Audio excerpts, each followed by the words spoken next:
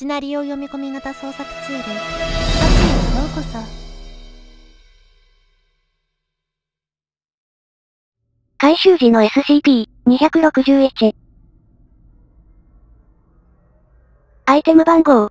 SCP-261 オブジェクトクラス。セーフ。特別収容プロトコル。SCP-261 261にアクセスするには、レベル2以上のセキュリティクリアランスを持った職員に承認されなくてはなりません。SCP-261 によって得られたすべてのアイテムは、投入された金額、及びその用途の経過時間とともに記録される必要があります。現在、SCP-261 による購買は、24時間につき10回以内、500日本円、JPY、相当のアイテムであれば承認されるでしょう。SCP-261 によって得られたアイテムは消費する前に、サイトの保健職員及び安全職員が調査しなければなりません。この手続きが行われなかった時、財団は SCP-261 によって得られたアイテムによる悪影響に対して責任を負いません。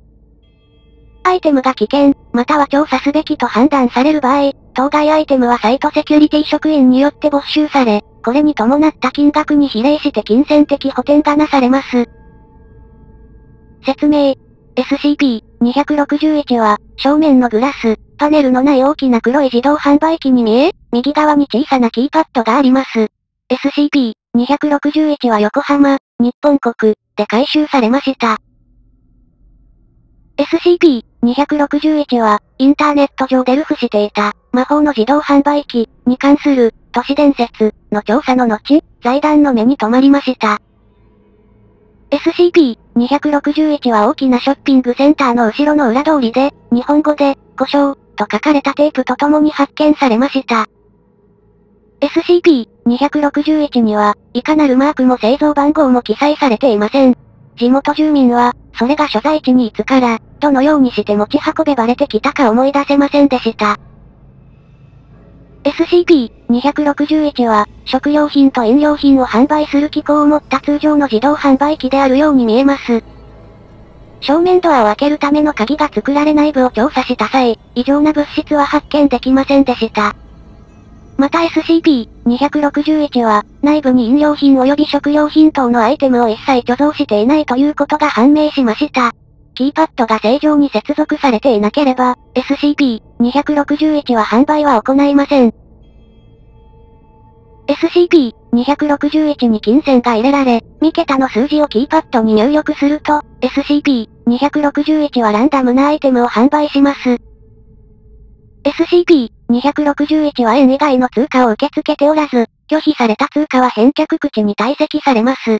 これらの販売物が出現する方法は不明です。ドアが開いている時や内部に記録機器を配置した場合、SCP-261 はいかなる手段でも動作しません。2桁の数字は販売アイテムに影響せず、2桁の数字による規則性は未解明です。販売アイテムには常に、スナック菓子、があり、注意を引く明るいパッケージングが施されています。SCP-261 は外部電源供給なしで作動することができますが、この状態では、不安定な、販売を引き起こすため、直ちに正常な状態にしてください。SCP-261 が短期間に多数回利用される、または多額の金額が投入されると、SCP-261 は奇妙なアイテムを販売するでしょう。一方、食品に関しては、人間の消費に適する例はあまり確認されていません。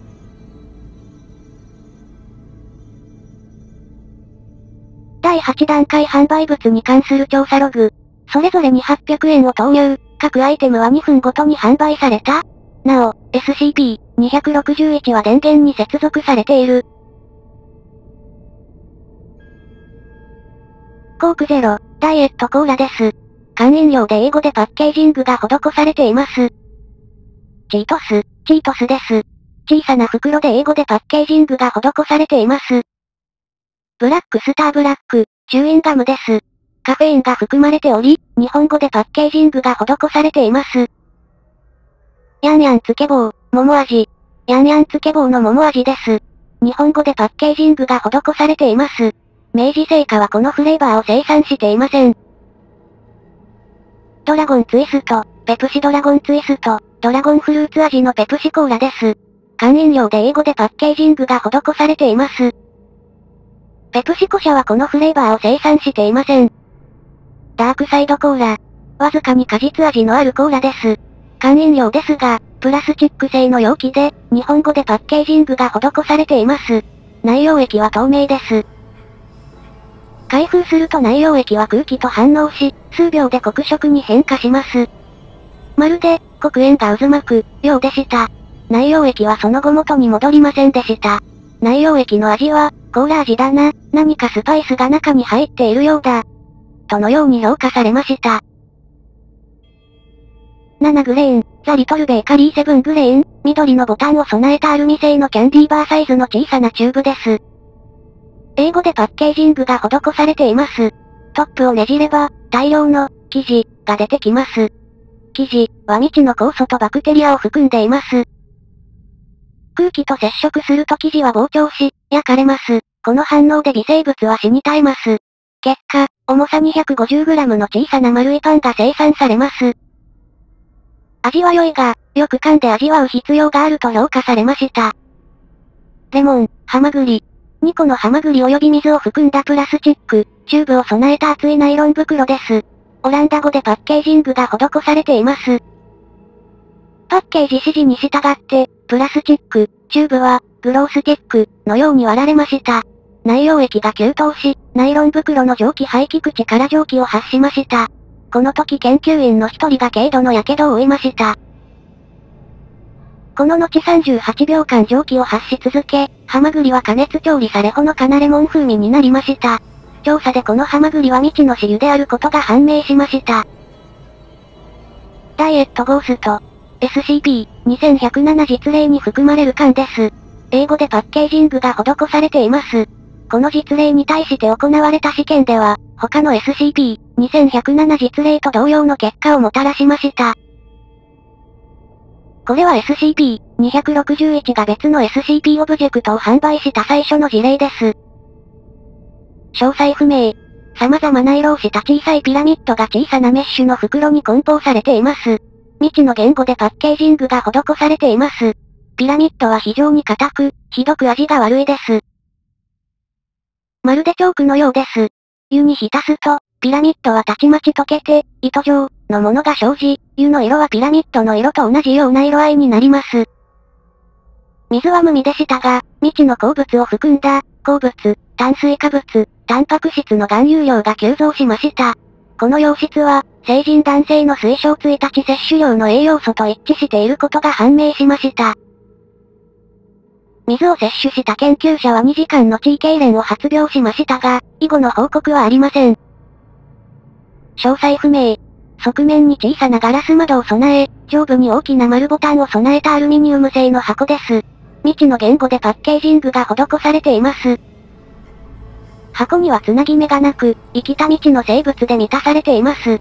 未知の生物は、毛皮、三つの死、非常に大きな単眼を備えた丸い動物のようです。上部のボタンを押すと、内部は非常に加熱され、この未知の生物は調理されます。箱越しに小さなノイズ、引っかくような音が調理プロセスの間、数秒間、聞かれました。1分30秒後、前面のパネルが開かれ、内部の調理された未知の生物を取り出すことができます。他の研究者が試食をためらう中、ガイン教授はこの未知の生物の試食を志願しました。味は非常にスパイシーで、食感はバリバリしていて、どことなく牛肉のようだと評価されました。詳細不明。高く薄いアルミニウム缶です。未知の言語でパッケージングが施されています。開封すると内容液が化学反応を引き起こしました。地球の大気中の酸素を考慮されていないようで、大爆発が発生し、多数の重軽傷者、2名の死者が発生しました。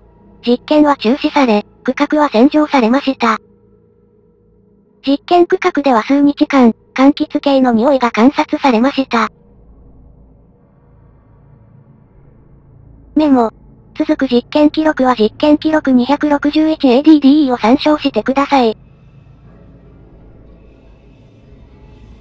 実験記録 261AD、DE、SCP-261 の販売物リスト。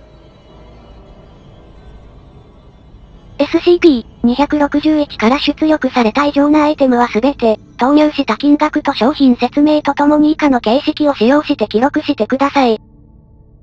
平凡なアイテムは、サイトセキュリティによる X 線検査及び点検の後に、個人的な消費に利用できるようになります。投入金額、電源接続の有無、商品概要。投入金額、500円、電源接続の有無、接続、商品概要。オレオ、一般的な6個入りのオレオです。スペイン語でパッケージングが施されています。パッケージは明るい青色です。味は通常です。投入金額、500円、電源接続の有無、接続、商品概要。ジョリーランチャースの袋パッケージ、一般的な青リンゴ味、スイカ味が含まれていましたが、現行品のジョリランチャースに含まれていないザクロ味、ビワ味、ブラックベリー味も含まれていました。食用か。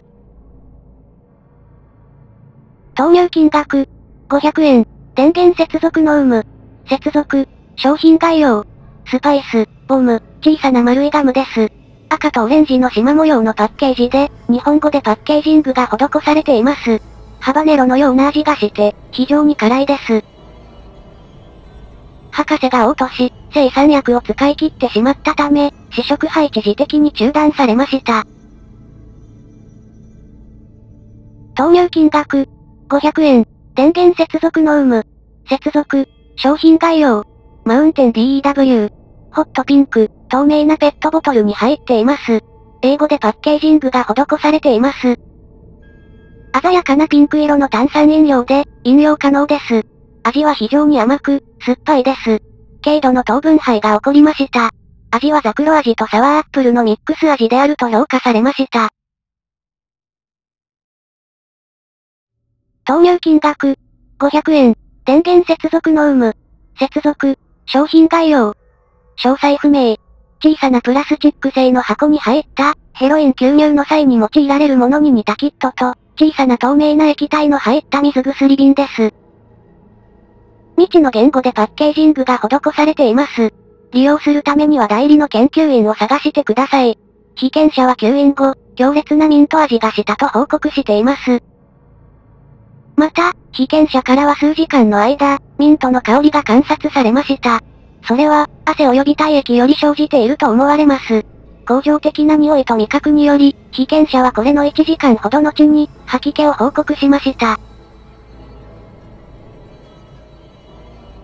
投入金額、500円、電源接続の有無、接続、商品概要、詳細不明、USB フラッシュメモリドライブです。パッケージングにはバーコードのみ記載されていました。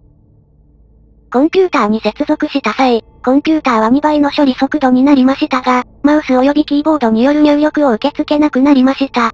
また、マインスイーパーを多重起動させることも確認されています。機械 SCP に対する調査のために保管されています。投入金額、500円、電源接続の有無、接続、商品概要、詳細不明、アルミホイルに包まれたミルクチョコレートです。男性の生殖器の形に造形されています。ネ部から先端部までおおよそ6.5インチ、165mm、あります。ハングルによく似た未知の言語でパッケージングが施されています。自由空状になっており、内部には、液体状のホワイトチョコレートで満たされています。食用か。試食は終了しています。投入金額、167円。電源接続の有無。接続、商品概要。ドリトス、ドリトスの袋パッケージです。ナチョ、チーズ味です。投入金額、200円。電源接続の有無。接続、商品概要。ハーシーチョコレートナッツ、レギュラーサイズのハーシーチョコレートとナッツです。ナッツは未知の私有であることが判明しています。投入金額、500円。電源接続の有無。接続、商品概要。グリーンアップレフロスティング、容器に入った砂糖飾りです。青リンゴフレーバーです。現在このフレーバーを製造している会社はありません。投入金額、500円。電源接続の有無。接続。商品概要。LAY、S ブルーミングオニオン、ALL、ドレセド、一般的なサイズの玉ねぎです。中へ切っていくと、それぞれの層は、別々の味、色、フレーバーです。現在までに霊社はこのような商品を製造したことはありません。投入金額、500円、電源接続の有無、未接続、商品概要、詳細不明、プラスチック製の容器に満たされた水です。小さいオニートマキエイに似た生物が水中を泳げいでいます。ナイロン袋の中に青いタブレット状のものが備えられています。容器上部を開けタブレットを投入すると、甲高い音を上げながら、水がたちまちに凍りつきました。その後この氷の塊を取り出すと、蒸発して中の凍った生物が取り出せました。それぞれわずかに違ったフレーバーと評価されました。投入金額、700円、電源接続の有無、接続、商品概要、ネイキッドフルーツドリンク、 berry flavored。特に異常は発見されていません。英語でパッケージングが施されています。投入金額、700円、電源接続の有無、接続、商品概要、食べられるチェスセット、 PEZ に似た小さいハードキャンディ製の食べられるチェスセットです。フランス語でパッケージングが施されています。投入金額、700円、電源接続の有無、接続、商品概要、おっぱい、ミルク、チョコレート味、パッケージ以外、特に変哲もない乳製品です。日本語でパッケージングが施されています。とても甘いです。博士は、懐かしい感じがするね、と報告しています。おっぱい型の容器はとてもいい手触りだったね。博士。投入金額、1000円、電源接続の有無、接続、商品概要、カスタムキャンディボット、たくさんのパーツの入った小さな袋です。未知の言語でパッケージングが施されています。パーツは様々な方法で組み立てることができ、小さなキャンディロボットが作成できます。完成させると、キャンディロボットは約2分程度、カスタムによった動きを始めます。動きに目的はないようでバタバタとしています。とても甘いです。投入金額、500円、電源接続の有無、接続、商品概要、SCP-417 の果実、未知の言語でパッケージングが施されています。アイテム、密封包装、が焼却炉に運搬される前に、室内に簡易の避難勧告が出されました。投入金額、100円、電源接続の有無、接続、商品概要、座薬、利用はされていません。ギリシア語に似た未知の言語でパッケージングが施されています。パッケージには使用方法の図が完備されています。後の検査で高い栄養素を含み、ミントの香りがすると評価されました。投入金額、700円、電源接続の有無、接続、商品概要、ベーコン T、シャツ、プラスチック製のパッケージの梱包された演示色の普通の T シャツです。未知の言語でパッケージングが施されています。試験の結果、食用か及び着用かであることが判明しています。味はベーコンのようだと評価されています。着用時、かすかなベーコンの香りがする以外、目立った異常はありませんでした。投入金額、1000円、電源接続の有無、接続、商品概要、広告用ボトル、未知の合金性の背の高いボトルです。人大文字に似た未知の言語でパッケージングが施されています。キャップをひねることで開けることができます。内部には、ペプシブルーに似た液体で満たされていました。飲用時、側面が発光し、魅力的な女性のアニメーション広告が流れました。すべての液体が排出されると、これは止まりました。投入金額、500円、電源接続の有無、接続、商品概要、熱逆転シュークリーム、パッケージに入ったシュークリームです。外気温が暑い時は冷たく、外気温が寒い時は温かいシュークリームになります。電子レンジで加熱すると凍りつき、冷凍庫に入れると燃えるように熱くなりました。腐りかけの時、最も味が良くなったと評価されました。投入金額、500円、電源接続の有無、接続、商品概要、チオチモリン、クッキー、3枚のプラスチック包装されたチョコチップクッキーです。味の感覚はクッキーが口に触れてから最低3分続きます。パッケージの表示は記録されていないバンバラ語の方言で書かれています。投入金額、500円、電源接続の有無、接続、商品概要、型パン、型パンです。重厚な後期ヘレニズム様式のギリシア文字で書かれたフランス語でパッケージングが施されています。食用困難で、肉のような味がしました。パッケージを翻訳したところ、亀のスープ味であることが判明しました。投入金額、500円、電源接続の有無、未接続、商品概要、エナジーガス、透明なプラスチック製の容器に入った、安定したシャボン玉です。英語でパッケージングが施されています。突き刺して穴を開けることで、ガスが吸引できます。という指示がありました。指で突き刺してみたところ、実際に穴が開きました。吸引すると、ラベンダーの香りがする、シャボン玉は縮み、最終的には完全に消えました。被験者は、エネルギーと権力が与えられたように感じました。被験者は数時間の間、鼻孔内のかゆみ、炎症を訴えました。投入金額、500円、電源接続の有無、接続、商品概要、ハゼルヌットグロセット、およそ、12個の小さなヘーゼルナッツチョコレートです。ドイツ語でパッケージングが施されています。DNA 鑑定で、イラン西洋ハシバミの系統と判明しました。ハーシー社はこのような商品を製造していません。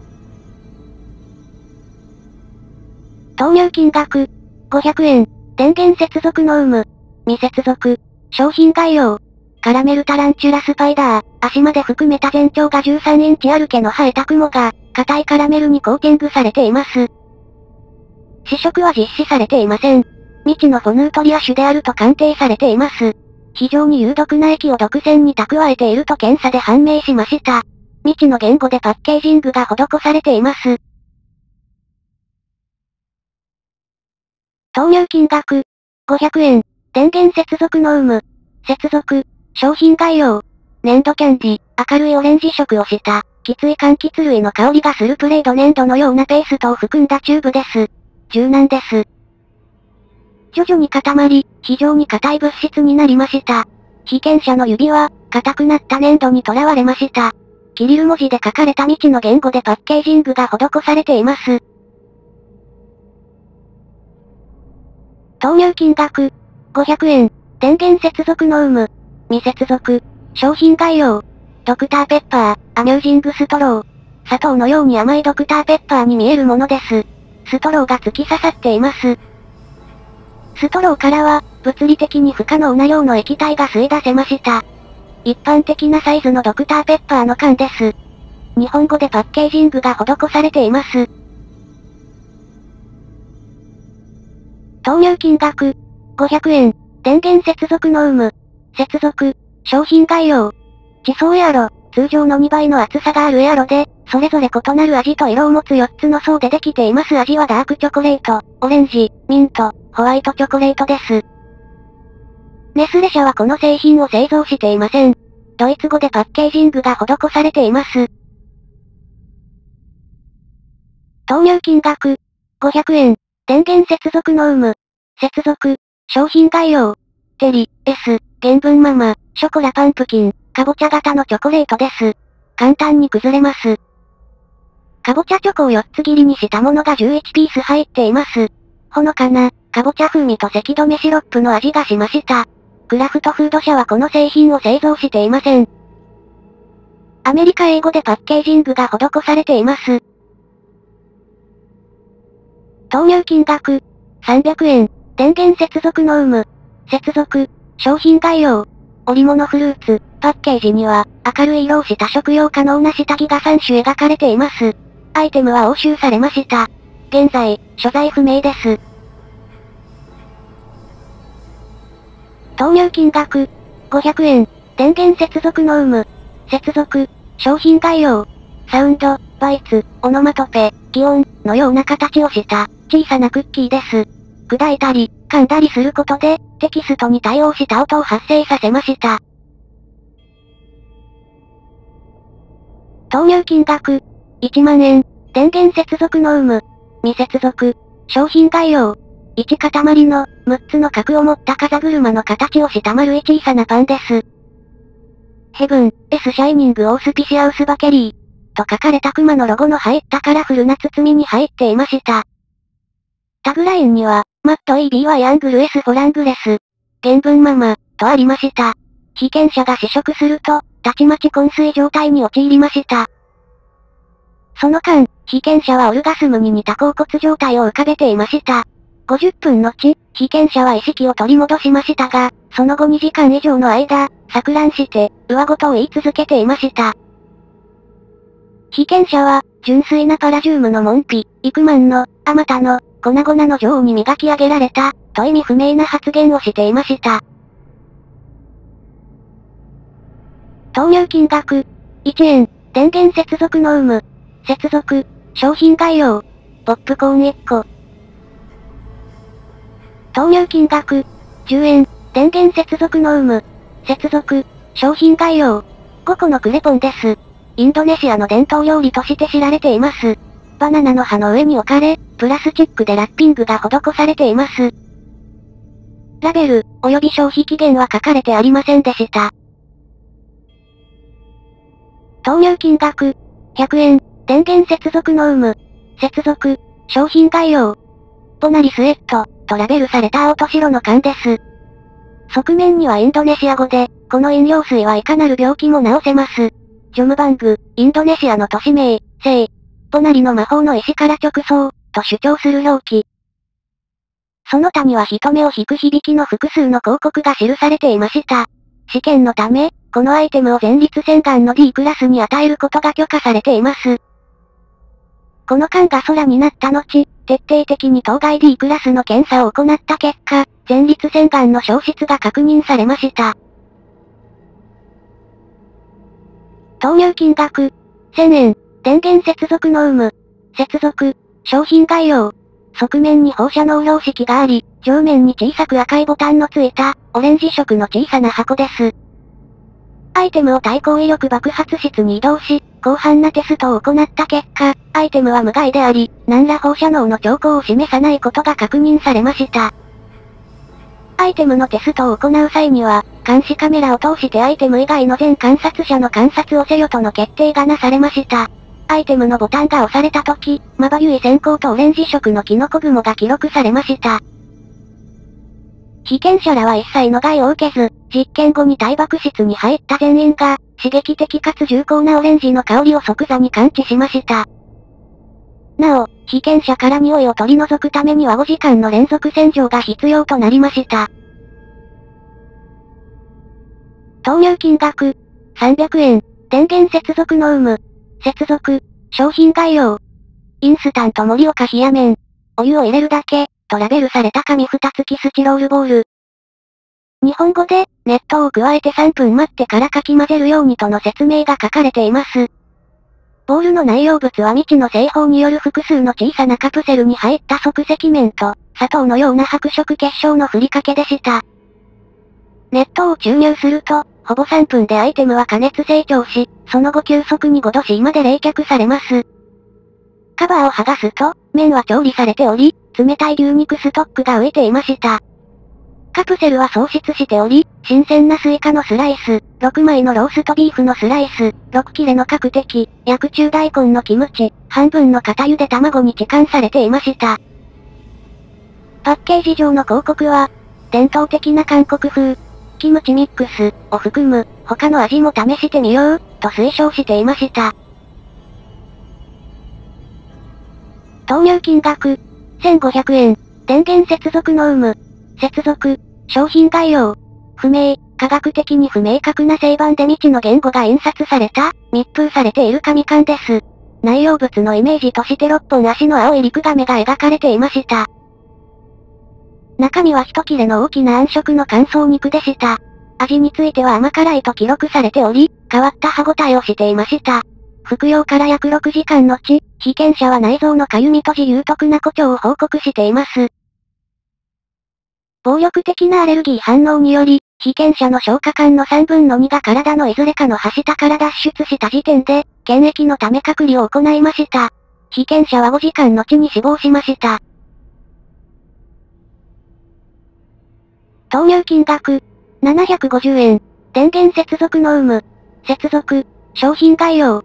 飛行能力のある昆虫が入っていることを示す彩色角が側面に描かれた、ネジ蓋式のアルミボトル。隔離室に移動し試験。被験者がボトルを開けると赤、青、緑、紫色の極めて攻撃的な昆虫が被験者に這い寄りました。彼は腕や胴体を刺そうとする昆虫数匹を食べました。基本的には酸っぱく、苦味のある未確認の果実のような風味です。ペッツに似ているが、甘くない、とのことです。昆虫はおよそ9分後に死に絶えたため回収されました。風味に関して、試験参加者全員が同意しています。はじめの被験者は、同様の風味の明色の液体を皮膚から分泌する症状を示しました。その他の副作用は見られません。症状は完治しました。投入金額、1500円。電源接続の有無。接続、商品概要。上部に圧力計と開放弁のついた鋼鉄の缶。ラベルにはサイケデリックな煙を吸い込む明るい色のトリシンメトリックな生物が描かれています。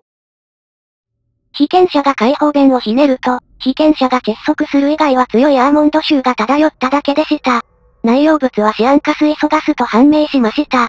試験は中止されました。投入金額、1000円、電源接続の有無、接続、商品概要、ネズミスティック、木製の細い串に刺さった串焼きです。サウザンフライ、薬中、小麦粉、卵、パン粉をまぶして濃い油で揚げたもの、でした。投入金額、250円、電源接続の有無、接続、商品概要、リンゴ爆弾、対象は元は普通のリンゴの入った袋のようでしたが、紫、オレンジ、白色など自然のものとは異なる色をしていました。リンゴに何らかの物理的刺激を与えると激しく爆発し、周辺を過食可能なペーストまみれにします。風味はリンゴの色によって異なりますが、すべて果実の風味です。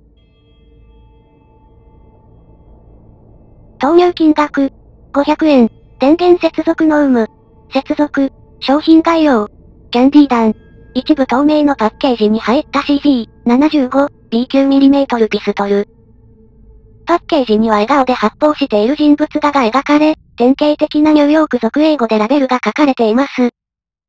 弾倉内は氷砂糖のような物質で作られていますが、通常の弾薬と同様に機能することが分かりました。被験者の足に向けて発砲しました。通常の重曹による痛みや傷に加え、被験体は数時間持続するペパーミントの味と香りを感じました。弾は被験者の血液中に溶け、外科手術で摘出する必要はありませんでした。ピストル本体も完全に食べることが可能であることが分かりましたが、噛み切ることは非常に困難です。プッテフルッテの味がしました。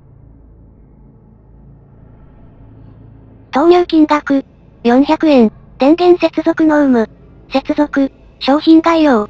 次元ドーナツ、明るい色使いの箱入りドーナツで、ラベルはスペイン語で書かれています。ドーナツの穴には小さな多次元的異常が存在し、ドーナツの輪が壊れるとともに異常も消えます。ドーナツを横向きに持って小さな物体を穴に入れると、時間、ドーナツ、持ち主に応じて物体が変化します。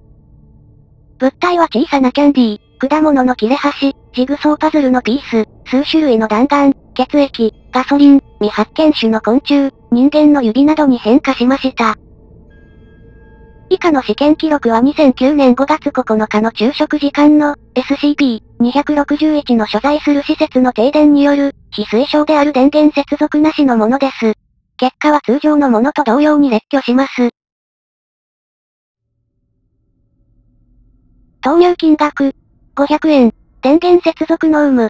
未接続。商品概要。ブラストラ、コーラ、ブラストラコラ、側面に、キャプテン、コミック XII を発売直前プレゼント。という宣伝のある青とオレンジ色の缶です。そのようなゲームソフトは存在しません。コーラは初頭で甘くしてありました。被験者はこれを飲んだ後、冷たい日、とでも形容すべきゲップをしました。被験者は負傷しませんでした。吐き出されたものを受けた実験場の安全ポスターはすぐに薄い霜で覆われました。薬中。キャプテン、コミック、というタイトルは存在します。最初期の横スクロールアクションゲームのようです。ブラストラ、コーラはゲーム中のアイテムです。ウィキペディア英語版。投入金額、500円。電源接続の有無。未接続。商品概要。ナメクジ詰め合わせ。一般的なイチゴ梱包に使われる箱に、生きたナメクジが詰まっています。蓋のラベルに手書きの英語で書かれていました。食べませんでしたが、この試験でナメクジには大量のビタミン C、E、そしてほとんどの B 複合体、リボフラビン除く、が含まれていると判明しました。大量のヒ素も含まれていました。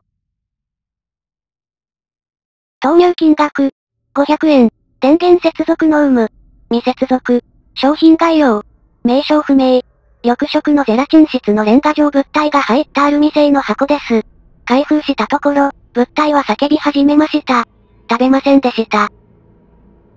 後の試験の際、物体は水に浮かぶ、小さな緑色の白片に萎縮し、2dB の囁き声を出すようになっていました。物体の性質を特定するあらゆる試みは失敗しています。試験を始めると白片は丸まりすぐに水に溶けたそうです。投入金額、200円、電源接続の有無、接続、商品概要、アキラ黄色の、バナナの皮に似た細長いセロハン製のパッケージです。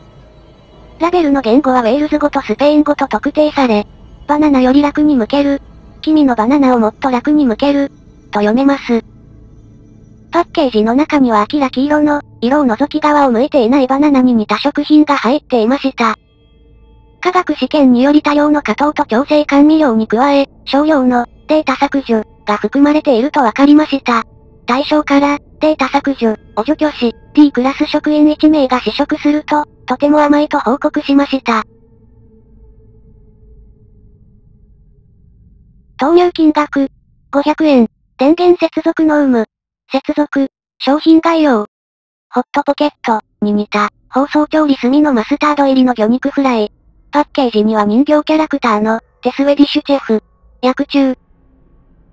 画像。に似たものが描かれ、例外表示と栄養表示、英語。で記載され、残りはウムラウトやアクセント記号が過剰で読解不能な疑似的なスウェーデン語が書かれています。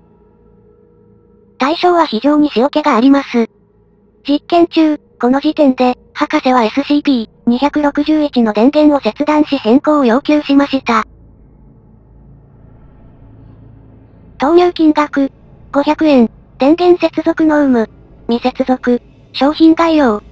永遠に痛みの続くサイコアキャンディー、ショット、日本語のパッケージでバンドの、ザ・オフスプリングのロゴと、小さく非常に歪んだ。バンドが一般的なサラリーマンの頭を手持ちそぎいわきで粉砕しているような絵が記載されています。キャンディーは様々な種類の色のグミ製のショットグラスのようです。キャンディーごとに味は異なりますが、基本的に、極端に甘い、です。キャンディーを検査したところ、わずかにアルコールらしき風味があるものの、アルコール類は検出されませんでした。背部の原料リストには英語で、ゾウと硫酸、とだけ書かれています。それ以外の原料はいかなる言語でも何も書かれていませんが、パッケージ株に乳製品アレルギーを悪化させる恐れありと注意書きがあります。投入金額、1000円、電源接続の有無、未接続、商品概要、様々な網目模様の入った小さな筒。模様は何か文字を表しているようです。明るい紫と緑色の包装にはおぼろげな黄色い、二つの口を持つように見える人型のシルエットが描かれています。蓋を外すと突然グレーバイオレットの泡が吹き出しました。被験者は筒を落とし、手が焼けるようだと言い化学物質洗浄機へ走り出しました。泡は酸性で、非常に多量のカプサイシンが含まれていました。以降は火傷により注意を払いました。分析により、泡は膨大な量のリボフラビンとビタミン B6 を含み、それ以外の B 複合体等のビタミンは含まれていません。現在未発見種の少々のミネラルと、ヒ素、メタンも含まれていました。しかし不運なことに、数時間で泡が溶けたため標本は失われました。投入金額、200円、電源接続の有無、接続、商品概要、小さな密封された青いプラスチック製の袋。触ると非常に冷たく、未知の言語が書かれています。内容物はいくつかの、小さく萎縮した直径 5mm の灰色の玉で、フリーズドライされているようです。水に入れ加熱したところ、直径 2cm に膨張しました。玉は未知の生物の眼球のようで、瞳孔は一面深青色で、血管は濃い紫色です。外側は滑らかで無味ですが、紫色のゼリー状部分を噛むと水で薄めたグレープジュースのような味が広がりました。数分後、ゼリー状部分は非常に強い幻覚作用をもたらすことが分かりました。投入金額、50円、電源接続の有無、接続、商品概要、食べてー、という小さなボール紙製の缶で、パッケージの残りはフランス語で、なんとも良い。抗い難いうまさ、の食品であると書かれています。缶には小さな、3本足で小さな鍵爪と大きなあらわに濡れた目のカニのような生物が5匹入っています。解放すると夢中で飛び跳ねね、鍵爪を鳴らして、食べて、と甲高い声で繰り返し叫びます。被験者がやや遅れて食べるのを拒むと、食べてー、は被験者の口に入り無理やり食べられようとしました。噛み砕け枯れると生物は、嬉しさのあまり悲鳴を上げ、飲み込まれると、ヒヤッホー、と音を出しました。購入金額、100円、電源接続の有無、未接続、商品概要、食べ物、フード、プルタブ式の18オンスの鋼鉄製の缶。ラベルは白く大判のゴシック様式、薬中。日本のゴシック体ではなくドイツ語風の活字の方です。で、食べ物、とだけ書かれています。それ以外の表示、栄養、成分、内容量等、は書かれていません。開封すると、分厚い、灰色で無臭のペーストが入っていました。被験者はこのペーストについて、何の味もしない、と報告し、他の被験者も無感動でぼーっとしているようでした。科学分析によりペーストには脂肪分が含まれ、コレステロールゼロで、かつすべての必須ビタミンとミネラルが含まれていましたが、現在まで特定できない化学物質も含まれていました。購入金額、100円、電源接続の有無、未接続、商品概要、飲み物、ドリンク、12オンスのアルミ缶飲料。ラベルは、食べ物、と同様に、ゴシック様式で、飲み物、としか書かれていません。中の液体は無色無臭で、水よりも低ネバドです。摂取すると、被験者は指示に対しより従順になり、飲み物を飲むたびにほとんど自我がなくなるほどに卑屈な態度になりました。飲み物の長期的な影響に関する研究がなされています。投入金額、300円、電源接続の有無、接続、商品概要、牛肉、ビーフ、スープ缶に似たアルミ缶、パッケージは通常の缶のように見えますが、あらゆる表示が、牛肉、牛肉、牛肉、の羅列に置き換わっています。缶にはピンクがかった肉が入っており、未調理の牛肉と判明しました。危険性は検知されませんでした。投入金額、300円、電源接続の有無、接続、商品概要、ミントフィッシュ、 Mint Fish、無地の包装紙で、二重に包装され、それぞれロシア語とナバホ語が書かれています。未知の名緑色の粉末が入っていました。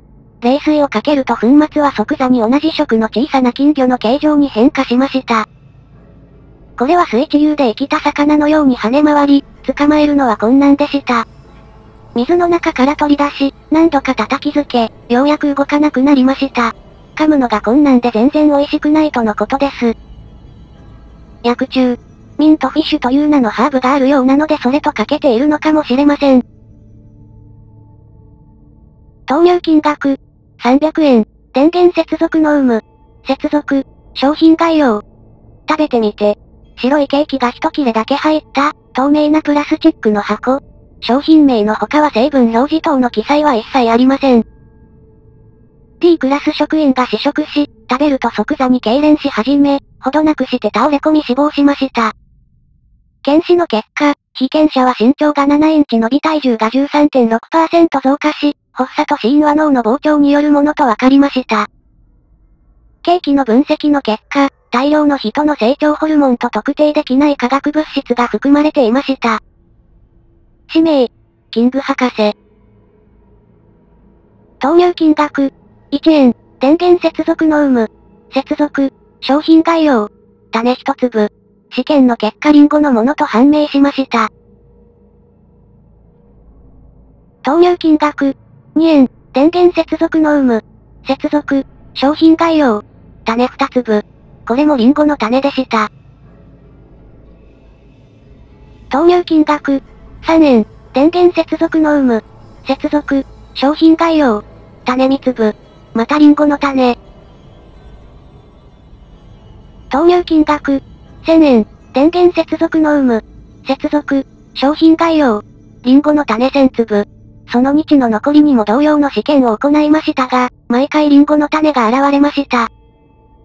キング博士に対し、SCP-261 を壊してしまったのではないか、という批判意見が上がりました。自販機は夜間は安置され、翌朝別の研究者により実験が行われました。投入金額、300円、電源接続の有無、接続、商品概要。レデのタム、茶色い紙で包装され、古臭い日本語と異常に品出する英語の外来語の書かれた小さな小さなスナックケーキ数個。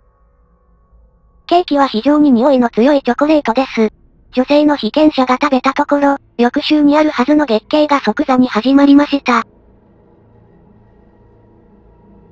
投入金額、1000円、電源接続の有無、接続、商品概要。プラングルス、標準的なプリングルス、サワークリームオニオンの筒に酷似しています。外見上の唯一の違いは、容器に書かれているマスコットの肌が赤く、おぼろげながら悪魔のような見かけであることです。商品は D クラス職員に与えられました。プラングルスの蓋を、ポン、と開封した途端、被験者は食べることを文字通り、やめられない止まらない状態になりました。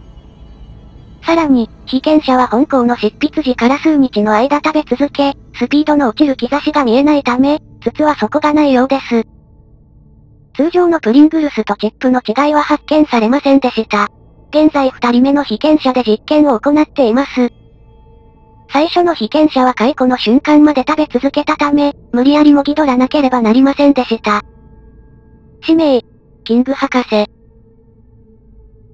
投入金額、300円、電源接続の有無、接続、商品概要、300粒のリンゴの種、キング博士本人か、キング博士に依頼された人間が自販機を操作するたびに必ず同様の商品が現れました。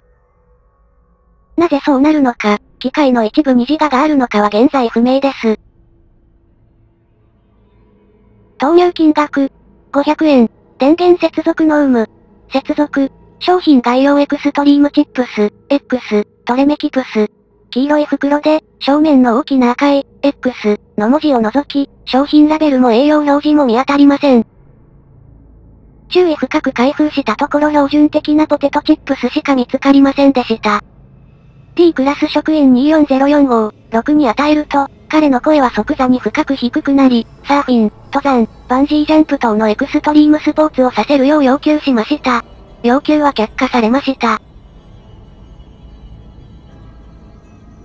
投入金額、50円、電源接続の有無、接続、商品概要、マクスウェルハウス人工コーヒー、マクスウェル H ハウスアーティフィシャルコフィードリンク。上半分にマクスウェルハウスの目立つ大きなロゴの入った 335ml のネイビーブルーの缶。下半分は湯気の立つコーヒーのカップとコーヒー豆が描かれています。原材料は水、人工香料、生成白糖と記載されています。10カロリーです。商品は苦く、インスタントコーヒーより味が劣ります。調査により、マクスウェルハウスはこの商品を生産していないことが分かりました。投入金額、1500円。電源接続の有無。接続。商品概要。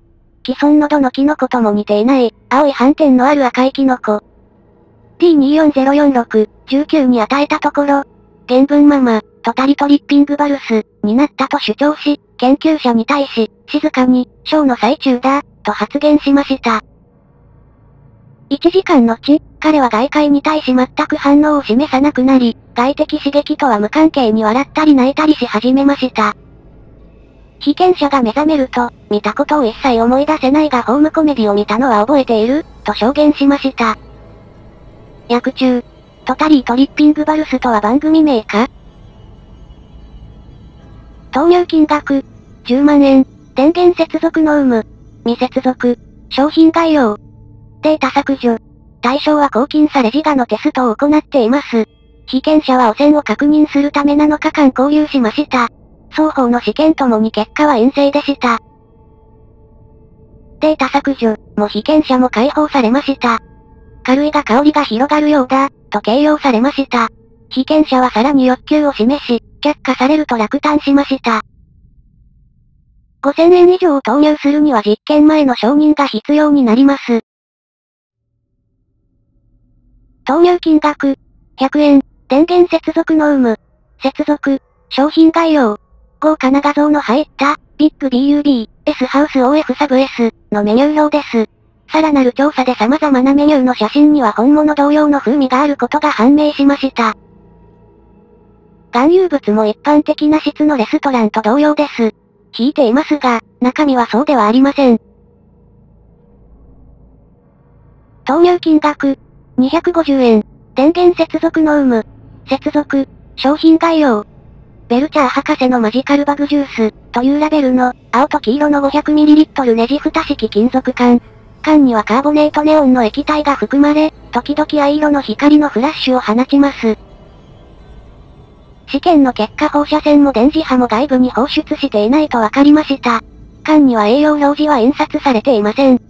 強いタンジェロ、マンダリンとグレープフルーツの交雑種、の味がします。強い利尿作用が数日間持続しました。投入金額、1000円、電源接続の有無、接続、商品概要、エージェント、オレンジシャーベット。小さなアイスクリームの箱で、不明瞭な労働者階級のフランス語で、トレンチコートと中折れ棒、黒いサングラスを身につけた秘密エージェントが親指を立て、二度死ぬには十分だ、と発言する漫画が描かれています。試験のため D2348 に与えました。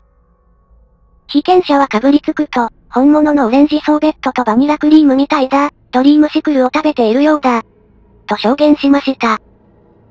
被験者はその後軽い背中の痛みを訴えましたが、翌日には回復したと報告しました。薬中ドリームシクルが何なのかよくわかりませんでした。追記ドリームシクルは、アイスやお菓子によく使われるフレーバーの一種、オレンジ足すバニラ、らしいです。投入金額、1500円、電源接続の有無、接続、商品概要、ミスター Q のヤバヤバソーダ、くびれ部分に風変わりなストッパーのついた、わずかにミントグリーンの色味がかった小さなプラスチックのボトル。ボトルを傾ける普通の飲み方では、くびれ部分のストッパーに引っかかり流れ出てきません。1時間にわたる試験の待つ、ボトルを逆さまにし、軽く振りながら直角まで傾けた時のみストッパーが作動しなくなることを発見しました。ソーダは爽やかでやばいくらい美味しいそうです。薬中。MR9、S クムバーソメソーダボット TLE。投入金額。10円。電源接続の有無。接続。商品概要。アメリカン、エアー、の入った12オンスの飲料缶。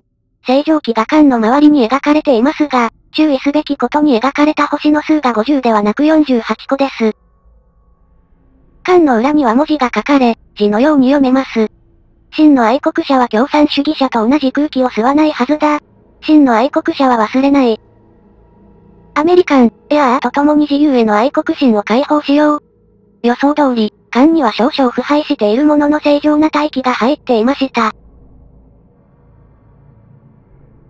投入金額、100円、電源接続の有無、接続、商品概要。ビーフジャーキーで作られた、サイズ64のイギリス風のソフト棒。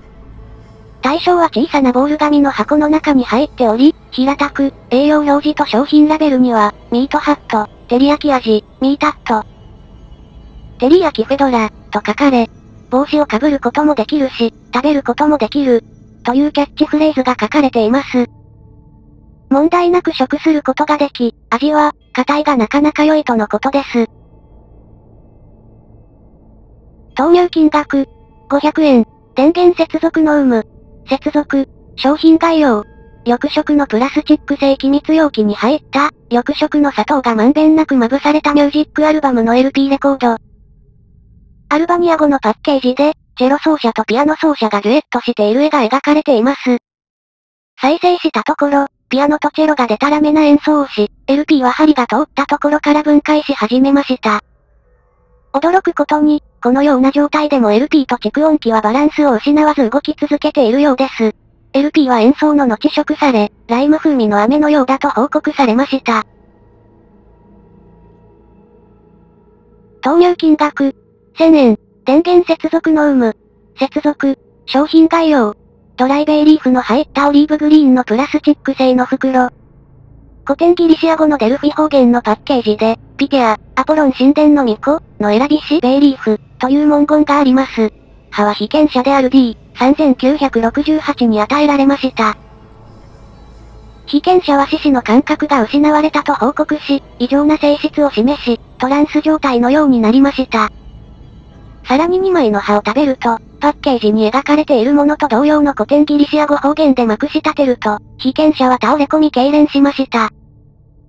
被験者は3分24秒間にわたって痙攣し続け、それから緩慢になり反応が鈍くなりました。被験者は2日後、回復の兆しがないまま死亡しました。歯を分析したところ、高濃度のエチレンが含まれており、これは観察されたような効果をもたらす化学物質です。被験者がギリシア語で何と発言したかは未だ不明です。被験者の発言を翻訳したところ大半は意味をなさず、データ削除、と解読されました。投入金額、4分、15世紀の日本の効果。電源接続の有無。接続、商品概要。いくつもの非奥義を描いた複雑なキムの刺繍のある、小さな赤いビロードの小袋。キムの糸で封印されています。小袋を開くとゴミくず以外は何も入っていないことが分かりました。ゴミくずを調べたところ、効果が流通していた時代と同時期の乾燥した米、赤豆、エビと大豆と判明しました。投入金額、300円、電源接続の有無、接続、商品概要。兄おばさんのフルーツ糸、ブルーラズベリー、ベレー帽、パッケージは英語、フランス語、ハワイ語が書かれています。パッケージには、消費者に、グレープ、グローブ、ミント、ミトン、サクランボズキン、などの他の風味も進めるように書かれています。中には甘い匂いのする青い毛糸玉が1個、縫い針1組、簡単な帽子を編む説明書1枚が入っていました。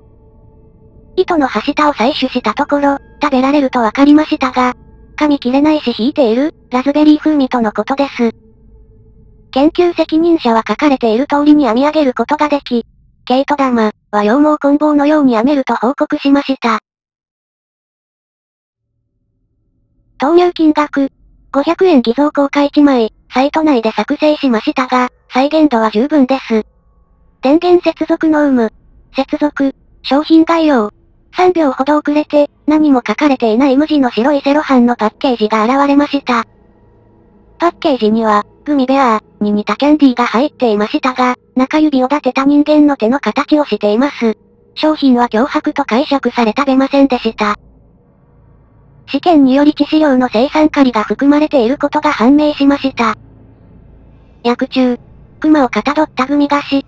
2009年10月9日、電源未接続の SCP-261 を稼働させ、機械な商品を出すようになるまでどれだけ時間がかかるかを確認する一連の実験が行われました。すべての販売商品は安全上、T クラス職員によって試験を行いました。投入金額、500円、電源接続の有無、未接続。商品概要。コカプシ、ゼロ、というラベルの、コカとペプシ社のゼロカロリー飲料の混ぜ合わせのようなデザインの清涼飲料缶。D クラス職員はコカとペプシの混合物のような味で、はっきりとアスパルテームの味がすると報告しました。缶に書かれた原材料リストはコカとペプシの原材料の混合のようです。得意な効果はありません。投入金額、500円。電源接続の有無。未接続。商品概要。食料品店に置いてあるようなごく普通のコーン缶のコーンが入っていると明言された、通常より大きな缶。開封すると、缶には熱い、溶けたバターと2本の未成熟のコーンの保軸が入っていることが判明しました。缶には手を触れる際に注意するようにというような警告は書かれていません。問題なく食べることができました。バターも通常通り冷めました。その後、T クラス職員の腹部と内臓の痛みの後の休止と、検視の結果ポップコーンの種が彼の胃腸内に残っていたことが判明したという報告がなされました。投入金額、500円、電源接続の有無、未接続、商品概要、マーク2破片手榴弾、パイナップル、に似たラベルのない商品。用心のため試し券エリアから退避しました。T クラス職員が監視のもと、注意しつつ回収のため送り込まれました。対象は安全なようでした。ブラストチャンバーに送られました。T クラス職員がピンを抜き投げて退避すると命令され、いやいやながら従いました。対象はチャンバーの隅で爆発し砂糖と数個の高速の破片を放出しました。チャンバーはグラニュー糖で覆われました。壁から金属片が見つかりました。破片は口に入れるとすぐに砂糖の味がはっきりと観察されたことを注記します。有害な効果はありませんでした。薬中。IT はスノテドタチュポネンテリング A テイスと OF シュガーカウルド B デフィニテリーオブサーブド。ウポネンテリングの意味に自信なし。投入金額。500円。電源接続の有無。未接続。商品概要。長さ6インチの SCP-682 の人形。自販機から取り出された途端動き出し、突然カウンターに現れたステッキと帽子を身につけると踊りながら4部合唱の仕草に見える動作を始めました。どこから発生しているのか不明の、標準的な4部合唱で鳴るような音楽が鳴りましたが、歌手はいません。付近の保安職員が人形に発砲しました。弾は対象を傷つけられず、吸収されました。人形がダンスをやめると音楽もおよそ2分後に消えました。商品は食べませんでしたが、試験によりキャラメル製と分かりました。さらなる化学分析によりキャラメルにはヒ素とリシン毒が大量に含まれていると判明しました。完全な状態の 9mmJHP 弾頭も発見され、治癒したように見えて内部に残っていたことが分かりました。商品は廃棄。薬中。バーバーショップルーチンバーバーショップには4部合唱という意味もあるが自信なし。投入金額。10円札、1943年造幣。電源接続の有無。接続。商品概要。チョコレートの5.25インチフロッピーディスク。その後の検査で日本製の MSX コンピュータ用にフォーマット済みと判明しました。前述のコンピュータで読み込み、書き込みテストを行っても、コンピュータの内部温度がチョコレートが溶けるのに十分な温度であるにもかかわらず、溶けることなく、何ら影響もありません。かすかにミルクチョコレートの味がしました。投入金額、450円。電源接続の有無。接続、商品概要。マリナルショヒトルのショコラトル、アステカ語のようなラベルと、伝統的なアメリカ先住民の衣装を着て、湯気の立つカップを掲げ微笑む女性のマスコットの描かれた、小さなアルミ製の缶。缶の底には自己発熱フィラメントがあります。起動すると液体が加熱されます。わずかにチョコレートの味がしますが、苦く少々辛みがあります。薬中、マリナルクソキトル、エスクソコラトル、マリナルクソコトルはヘビ、サソリ、昆虫の女神、魔術師、ウィキペディア英語版。クソコラトルはチョコレートのアステカ風スペルと思われます。投入金額、300円、電源接続の有無、接続、商品概要。哲学者の一軸、ハニー、古代ギリシア様式の陶器に似た蓋付きの小さな陶製の容器。ギリシア語で、中には、スペシャルな哲学者のおまけ、が入っていると書かれています。容器の中ほどより下には仕切りがあり、片方には蜜が入っており、もう片方には数個の新鮮なイチジクの実るが入っていました。蜜はクローバーのようであるそうです。入っていたおまけは小さなプラトンの胸像でした。投入金額、500円、電源接続の有無、接続、商品概要、フェアリー Fairy、原文ママ、の錬金コイン、クラッカーのような、25セント硬貨サイズ、の表面に錬金術の紋章の刻まれたメダルの入った白いパッケージ。ラベルは中英語で書かれ、数匹の妖精がクラッカーの上で魔法の杖を振っている漫画絵も描かれています。クラッカーの中にはキムと銀が含まれていたので取り除きました。D クラス職員がこれらのクラッカーを食べたところ、どれも同じ味で塩クラッカーの生地であるということを発見しました。他のクラッカーには硫酸、塩酸、アンチモン、水銀、鉛が含まれていました。薬中、クワーター、サイズ D。投入金額、535円。電源接続の有無。接続、商品概要。マンデルブレート編、アーモンドロールパン、名前からはパンのように思われますが、実際に入っていたのは4個の引いたフラクタル形状のチョコレートクッキーでした。このフラクタルはクッキー表面の原子構成レベルまで自己掃除となっています。パッケージの警告表示には、早喉を痛めないよう食べる際に水かミルクに浸すよう書かれています。薬中、マンデル、ブロッチェン、ドイツ語は Google 翻訳を用いたため間違えているかも。フラクタル概念の提唱者マンデルブロ、マンデルブロート、とかけているのか。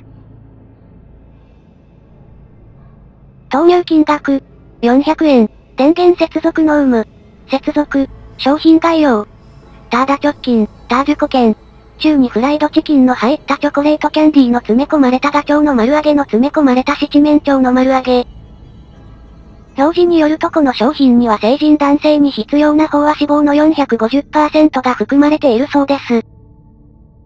薬中、ターダッキン、タージュッケン、の文字理化。投入金額、500円、電源接続の有無、接続、商品概要。ピスキナ、コカ、コーラ社のパッケージがなされたソーダ缶。英語ラベルとロゴが書かれています。成分表示には大量のオメガ3脂肪酸が含まれているとあります。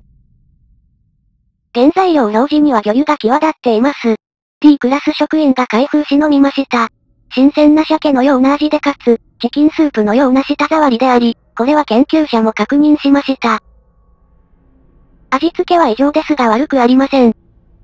薬中、ピスキナ、ピシナ、はキリスト教の教会で儀式を行う壁のくぼみ、またラテン語の、魚の池、が語源です。チキンにも宗教的な願意があると思いますがまとめると時間がかかるので後続にお任せします。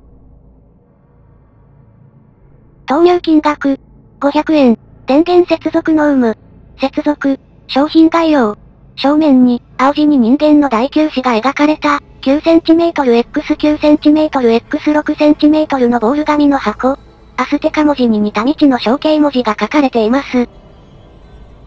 箱を開けたところ、およそ5センチメートルの大きさの葉が見つかりました。科学分析により、正体は非常に硬い飴、であると分かりました。葉の、葉肉、の部分は甘いフルーツシロップでした。形状を除いて、科学的に異常は見当たりません。薬中、非常に硬い飴をジョーブリーカー、顎砕きと表現するようです。投入金額、5000円、電源接続の有無、接続、商品概要、人間の汗の匂いの合成香料の入ったガラス製の香水瓶。科学分析により高濃度の人間のフェロモンとナツメグの香りが含まれていると分かりました。実際、軽いサイン効果があります。ラベルはありません。投入金額、1万円、電源接続の有無、接続、商品概要、トリッシュ、ドリンクはイバード、プルトップのないブリキの缶で、ツアオホジロがボトルでアルコールを飲む絵が描かれた紙のラベルが巻かれています。中身はブランデーに付けられたコエタズアオホウジロでした。化学分析では異常は発見されませんでした。投入金額、800円。電源接続の有無。接続、商品概要。蜂の巣のセルのような六角柱状の密漏で、長さ約 6cm、各辺 3cm のもので、だいたい一人用のヨーグルトカップの大きさです。六角の表面には蜂の漫画絵と、春のシロップ、と読めるロシア語の文字が彫られています。栄養表示は側面に書かれていました。パフオート、薬中。パフェドオート、麦のポン菓子、あるいはシリアル、が入っており、それぞれの粒にはさらに新鮮な蜂蜜が入っていました。研究員が試食し、標本の一部は後の分析のため保管されました。投入金額、200円、電源接続の有無、接続、商品概要、生きた、向けで骨のないモルモット。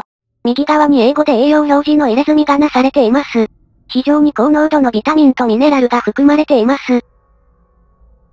ヘリアット、という未知の栄養成分も含まれています。推奨摂取量も書かれていません。モルモットを殺し、研究員が食べようと獅子を切り離そうとしましたが、うっかり副校を引き裂き、内臓のあるはずのところに緑色のセイボリーカスタードが入っていることが分かりました。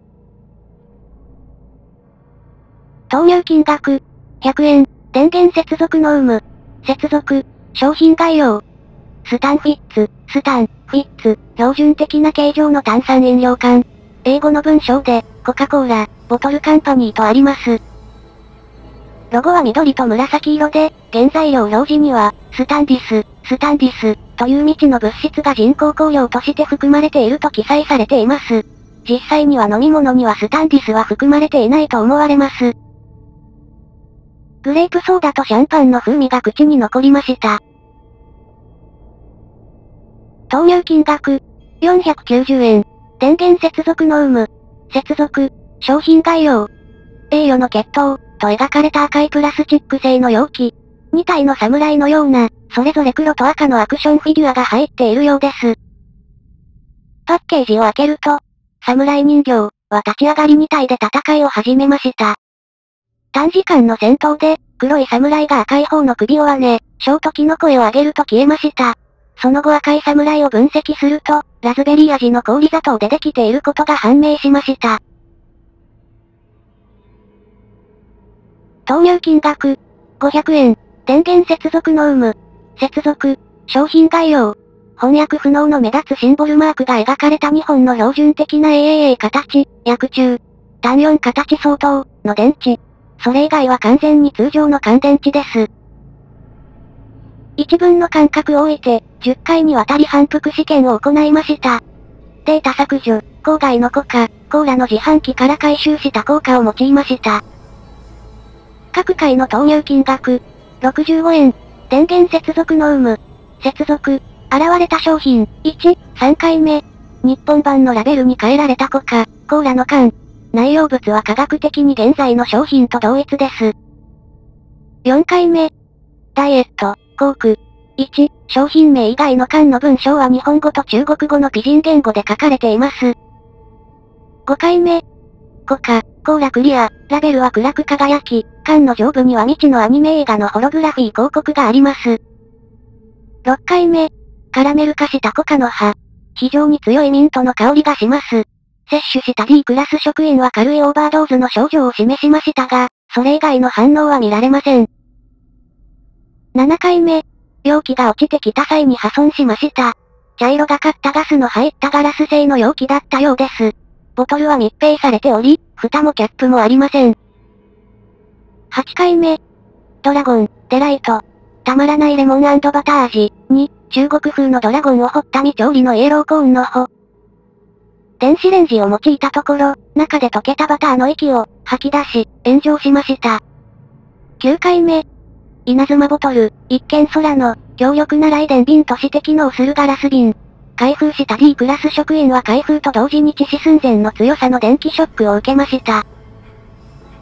被験者はその後1時間にわたって高温を味わった、と報告しました。10回目。コア、コーラ、3の缶。D クラス職員が分析するはずでしたが開封直後に死亡しました。分析により飲み物には二酸化炭素ではなく一酸化炭素が含まれていると分かりました。1薬中。ピート、コケ。2。レモンワイブッテリフィックドラゴンデリット。ブッテリフィックはバターとテリフィックの合成属語 ?3。COA、コラ。投入金額。1500円。電源接続の有無。未接続。商品概要。スナップル、スナップル、茎に小さな手書きのタグの付けられた、通常のグラニースミス種の青リンゴです。さらに調べたところ、芯は硬い鈴、鈴、で作られていました。役者補足。ドクターペッパーイコールスナップル、グループ社製品に同名のリンゴジュースのブランドがあります。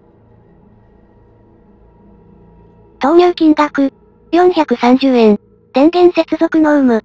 接続、商品概要。中性子ベーコン、CH 小さい CBEKON、とプラスチックのタグに書かれています。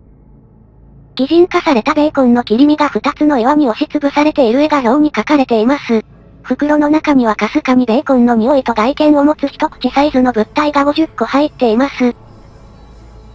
一つを B クラス職員に与えたところ、被験者は腹部を足づかみにすると床に崩れ落ちました。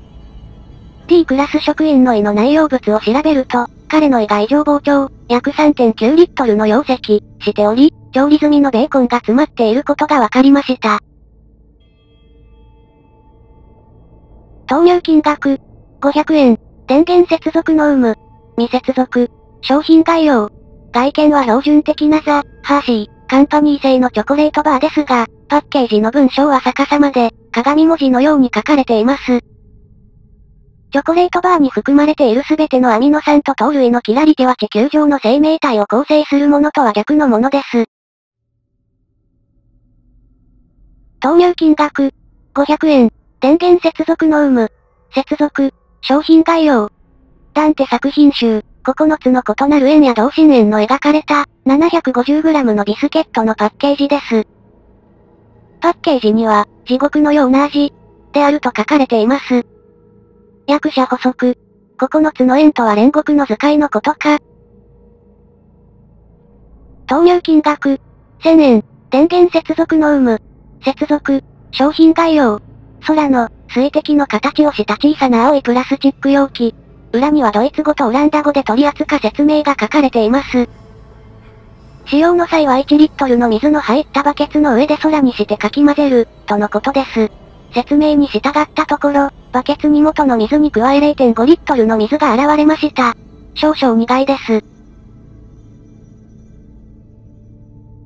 投入金額、500円、電源接続の有無、接続、商品概要、歯車、バネ、棒、あるいは他の機械部品のような形のプレッツェルの入った中くらいのサイズの袋、パッケージには機械仕掛けで作られたような、微笑みウィンクしている人影が、サムズアップ、のサインをしている絵が描かれています。食品は塩気があり、噛むのが困難でした。投入金額、1500円、電源接続の有無、接続、商品概要、未知の言語が書き込まれた小さな薬瓶。パッケージには、ウゴメクラットのキャンディを食している少年の漫画が描かれています。瓶には大きなペレットが10個入っていました。1個を実験用ラットに与え、接触させました。そのラットが眠りに落ちた後、ラットのすべての体組織が急速に様々なキャンディ状物質へ変換され始めました。約10分のチラットは目を覚まし、体組織がすべて機能しないキャンディ状組織に転換されているにもかかわらず、正常に機能しているかのように振る舞いました。T クラス職員にこのラットを食べるよう指示しました。臓器はゼリー菓子物質に置き換えられており、血液はシロップのようであり、骨は結晶化した砂糖で構成されていたことを報告しました。キャンディの味は正常かつ予想通りのものであり、悪影響は報告されませんでした。後に実験使用するため、残りのペレットはストレージに設置しました。投入金額、555円。電源接続の有無。接続。商品概要。聖パトリックのヘビ川パイ。商品名は英語で書かれ、ラベルはアイルランド系ケルト語で書かれています。圧縮包装された本商品は小さなミンスパイに似ています。切り分けたところ、杯の中心には乾燥し塩をつけた道の種の蛇の肉が詰め込まれていると分かりました。商品を食べた D クラス職員が非常に硬い鶏肉のようだと報告しました。役者補足。アイルランドの聖人パトリックには蛇退治の伝説があるようです。投入金額、555円。電源接続の有無。未接続。商品概要。ラベルのないピンク色の背の高い炭酸飲料缶。缶を開封すると手榴弾が爆発するような音が発生し、内部が発泡する透明な液体だと分かりました。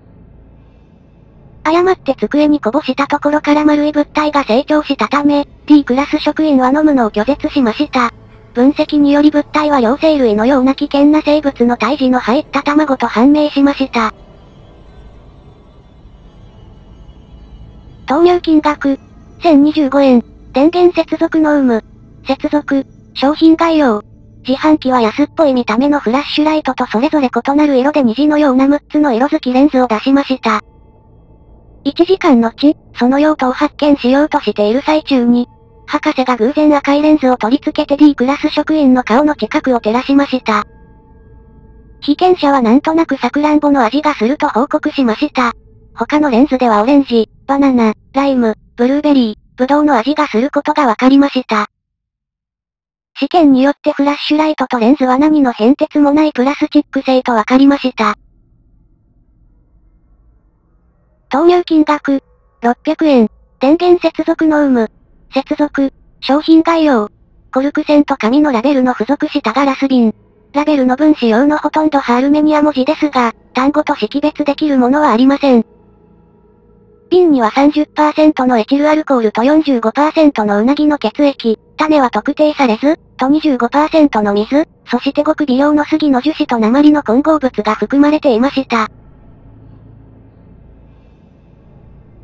投入金額、600円、電源接続の有無、接続、商品概要、白いセロハンの包み、包みに書かれた文字はヘブライ文字に音訳転写されたグジャラート語で、フル肉製品、と読めます。包みには腐敗し蛆の湧いた肉、おそらく鳥類の肉だった、が入っていました。投入金額、600円、電源接続の有無、接続、商品概要、ビリービール、 Billy Beer、のラベルのある、アメリカの1970年代後期のフォールズシティ醸造社の記念ビール製品と同様のパッケージの、プルタブ式のアルミ缶。缶のラベルには、このビールは自分のために醸造しました。今まで多くのビールを飲みましたが、これは味わった中で最高の出来です。あなたも気に入ると思います。ビリー、カーター、という推薦文もあります。缶にはビールらしき物体が入っていました。被験者が少しだけ飲むと以後72時間にわたって軽い中毒症状を訴えました。役者補足。ビリー、カーター、 Billy Carter はフォールズシティ醸造社、フォール S シティブリューイングカンパニーの創業者、ジミー、カーター元大統領の弟。推薦文も当時のビリービールのパッケージと同じようです。参考ウィキペディア英語版。投入金額、150、B 円。1948、1958年の狭間アメリカ占領下の沖縄で流通した軍票。電源接続の有無。接続、商品概要。ピクルスとレタス入りのチーズバーガー1個。チェーン店で供されるものと同様のもの。役者補足。伏せ字も日本語の文字数に合わせて6文字に。投入金額、150B 円。電源接続の有無。接続、商品概要。側面が 7cm の箱で、開封すると粗悪な録音の歌が流れバレリーナ像が箱の中のスタンドでスピンしました。バレリーナも箱もパテ2枚入りチーズバーガーを溶かして再形成したものでできていると判明しました。投入金額、150B 円。電源接続の有無。接続、商品概要。大豆製の食べられる皿に盛られたレタスのないシーザーサラダ。投入金額。和道会賃5枚。紀元8世紀頃の日本の通貨。電源接続の有無。接続。商品概要。米の入ったお椀一杯、箸なし。メモ。当時、1000年代前は箸は仮想階級では一般的ではありませんでした。SCP-261 は効果を本来の価値で評価しているようです。投入金額和同会賃45枚。電源接続の有無。接続。商品概要。以前のよりも質の良い料理。内容物は、飯を盛った上に猿の肉を切ったものが置かれていると確認されました。 containing what was confirmed to be sliced monkey on a bed of rice 訳注。スライスした猿猿の腰掛け。投入金額。1000円小切手、かな文字で記述、現在の流通規格のもの。電源接続の有無。接続、商品概要。3cm×5cm のボール紙の紙片。人間が触れると、紙から離すまでミルクチョコレートの味がすると報告されました。投入金額。500円借りたよ、IOU500 円、と英語で書いた紙。電源接続の有無。接続、商品概要。フリトレー社製の、スマートフード、銘柄のチェダー味のポップコーンの入った開いた容器。ポップコーンの粒の残骸とチェダーチーズ味の粉末と、そして、ポップコーン41粒借りたよ、という紙が入っていました。投入金額、500円、電源接続の有無、接続、商品概要、放送されていない41個のポップコーンの粒、スマートフード銘柄のものと一致しました。投入金額、0円、コイン返却のボタンを押しました。電源接続の有無。接続、商品概要。返却口から、0円、硬貨1枚が吐き出されました。硬貨は鋳造金属で、裏面には笑顔のドナルド、マクドナルドが描かれていました。投入金額、500円。電源接続の有無。接続、商品概要。バードスパイシーライムスナック風味。というラベルの発泡スチロール製のカップ。ニオンスの未知の粉末が含まれていました。説明書きには、お湯を線まで注意で閉じ、3分待つ、とあります。開くと中には再形成された、刺激臭のする脱灰したオウムの骨、セロリ、コリアンダー、ライムのスープが入っていました。変わった食感でピリッとする、とのことです。栄養表示には1日の推奨摂取量の300%のナトリウムが含まれると書かれています。投入金額、0円、コイン返却、のボタンを押しました。電源接続の有無、未接続、商品概要、やめんか、とゴシック体で書かれた赤いアルミ缶。断続的に缶の中からブンブンという音が聞こえ、大型の攻撃的な昆虫が飛び出すかのようです。被験者は開けたがりませんでした。投入金額、666円。電源接続の有無。接続、商品概要。ニックおじさん、銘柄の、美味しい日曜日の不審人スナック。ブランドロゴは微笑む悪魔とペンタグラム。逆十字その他の悪魔崇拝に関連するステレオタイプなシンボルマークの漫画へとはっきり確認できます。ブランド名と商品名以外の文章は、手書きのような不規則な版の曖昧なラテン文字で印字されています。箱の裏面には、天罰保証、と目立つ宣伝文句が書かれています。原材料リストには、半清水、が含まれていますが、他はパンやワインに含まれるものです。箱には生産に用いる形状の発酵していないパン13個と、赤ワインの入ったのみ口付きの透明なプラスチックの袋が入っていました。被験者はそのパンを、美味で驚くことにレアステーキの風味がずっと口の中に充満したと報告し、ワインも素晴らしいがわずかにしょっぱいと報告しました。被験者は経過観察に置かれましたが、異常行動は報告されていません。投入金額、0円、以前のテストで SCP-261 が吐き出した、0円、効果を用いました。電源接続の有無、接続、商品概要。で購入できるものと似た、肉の詰まったバーガー、ポテト、オニオンリング、大型のコーラが入った袋。ただし栄養表示、原材料表示は検閲されています。袋は D クラス被験者に渡されました。被験者は食品を、全くの無味で、全く歯応えのない、つまらない食感だと報告し、彼の食欲は全く減りませんでした。役者補足。伏せ字も日本語の文字数に合わせて6文字に。投入金額。500円。電源接続の有無。未接続。以前の実験の清掃時に誤って電源コードを外していました。商品概要。ダイエットコーラに似た定裁の清涼飲料水缶1個。印刷された言語は後に漆器無語、伝存グク派、と特定され、絶叫の、翻訳不能感を開けて絶叫料理をお楽しみくださいと読めます。開封した途端、推定135、130dB の痛々しい悲鳴の音がおよそ15秒にわたって放出されました。その関東の被験者はなんとか缶を保持しており、缶が明るく光ったと報告しています。騒音が晴れれると、居合わせた被験者たちは奇妙な飽和感を示し、その日は一切食事をしませんでした。投入金額、3000円、電源接続の有無、接続、商品概要、吐き出された商品は、胎児味、と暗緑色の文字で書かれた小さな気褐色の箱でした。この文章の下には微笑む明橙色の胎児の絵が描かれています。さらにその下には暗緑色の文字で、妊娠期間短縮中、とあります。箱の裏には3コマの漫画が描かれ、3人の人間の登場人物、2人の女性と1人の男性、が今にいる絵が描かれています。1コマ目ではコマの右端の女性が頭上に吹き出しを出しており、パパ、ママ、言うことがあるの、赤ちゃんができたの、と読めます。2コマ目にはショックを受けた両親の顔が見られ、父親の頭上には、信じられない。まだ幼いお前がそんな、と読めます。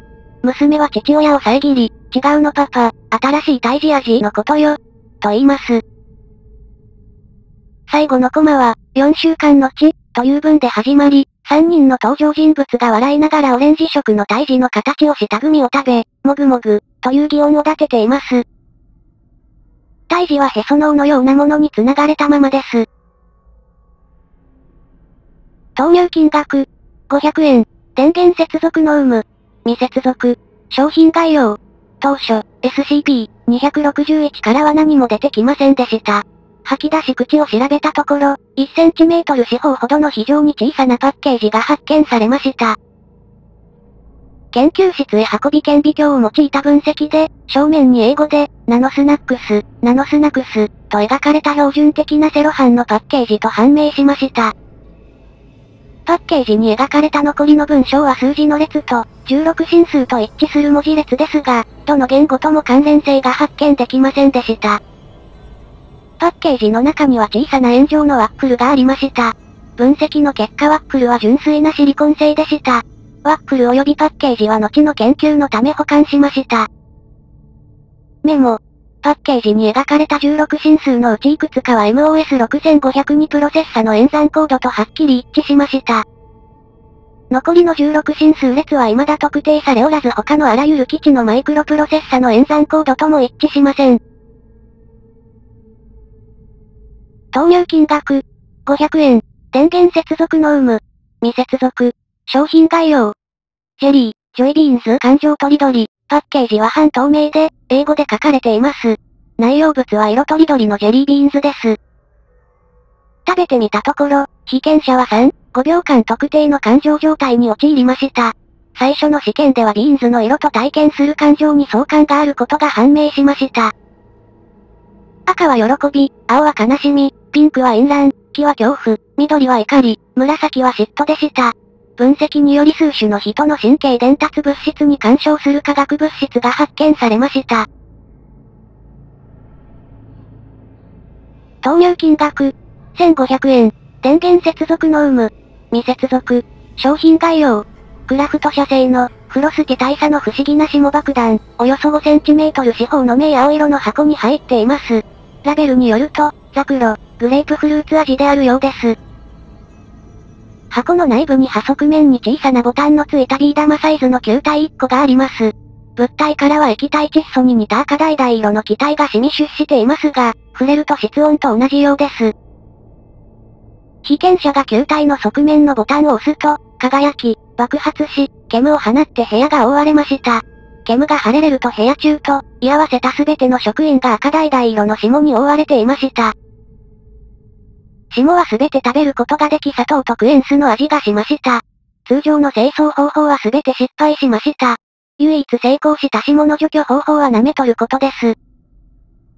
部屋と居合わせた職員を舐め取るのに総勢、名の職員が必要で、綺麗になるまで1時間かかりました。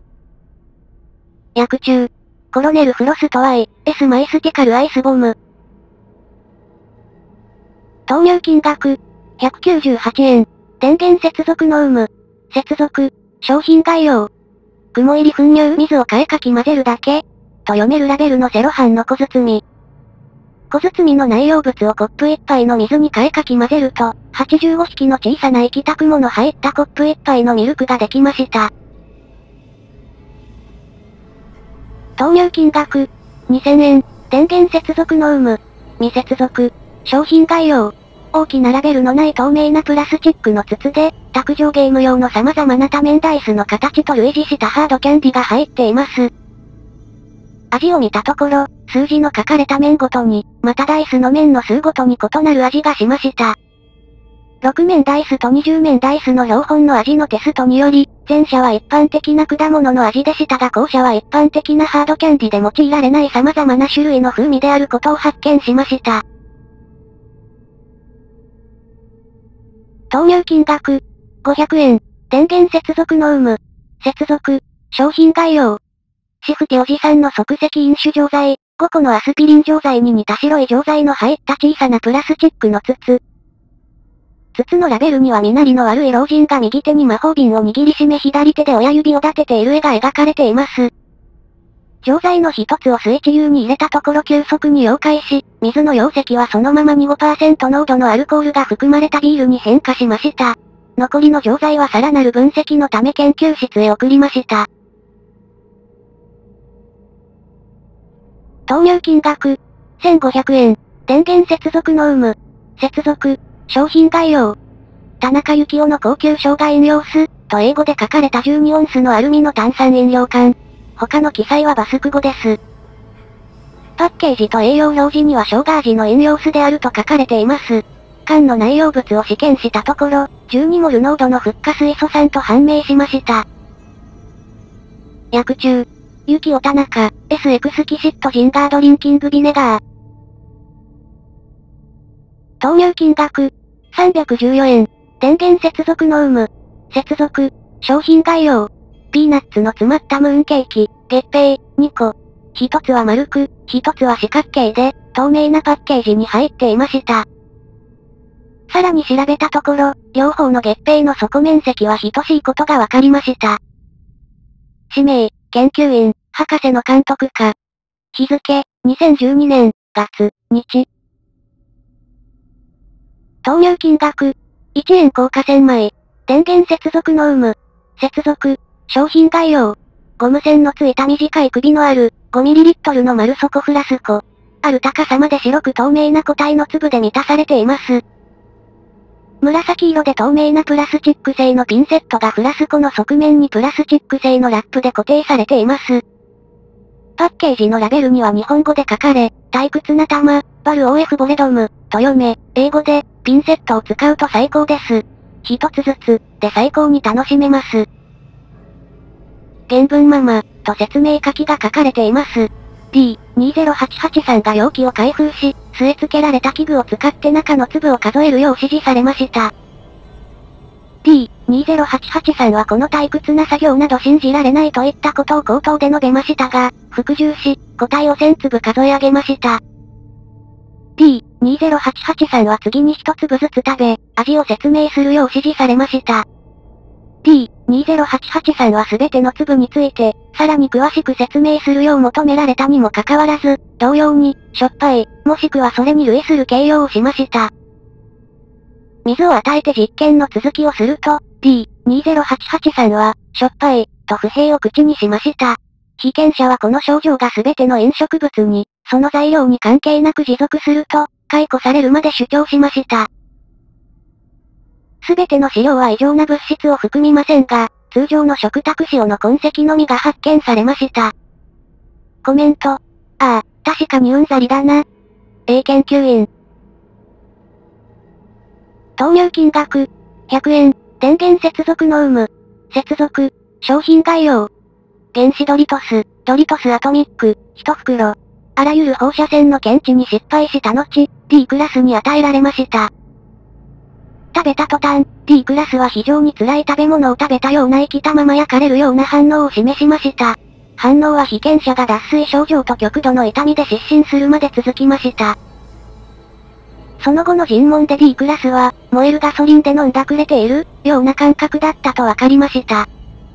残りのチップにはナガ、ブット、ジョロキア、ゴーストペッパーの抽出液と、当該 D クラスが焼かれるように感じた原因と推測される数種の未知の物質が含まれていることがわかりました。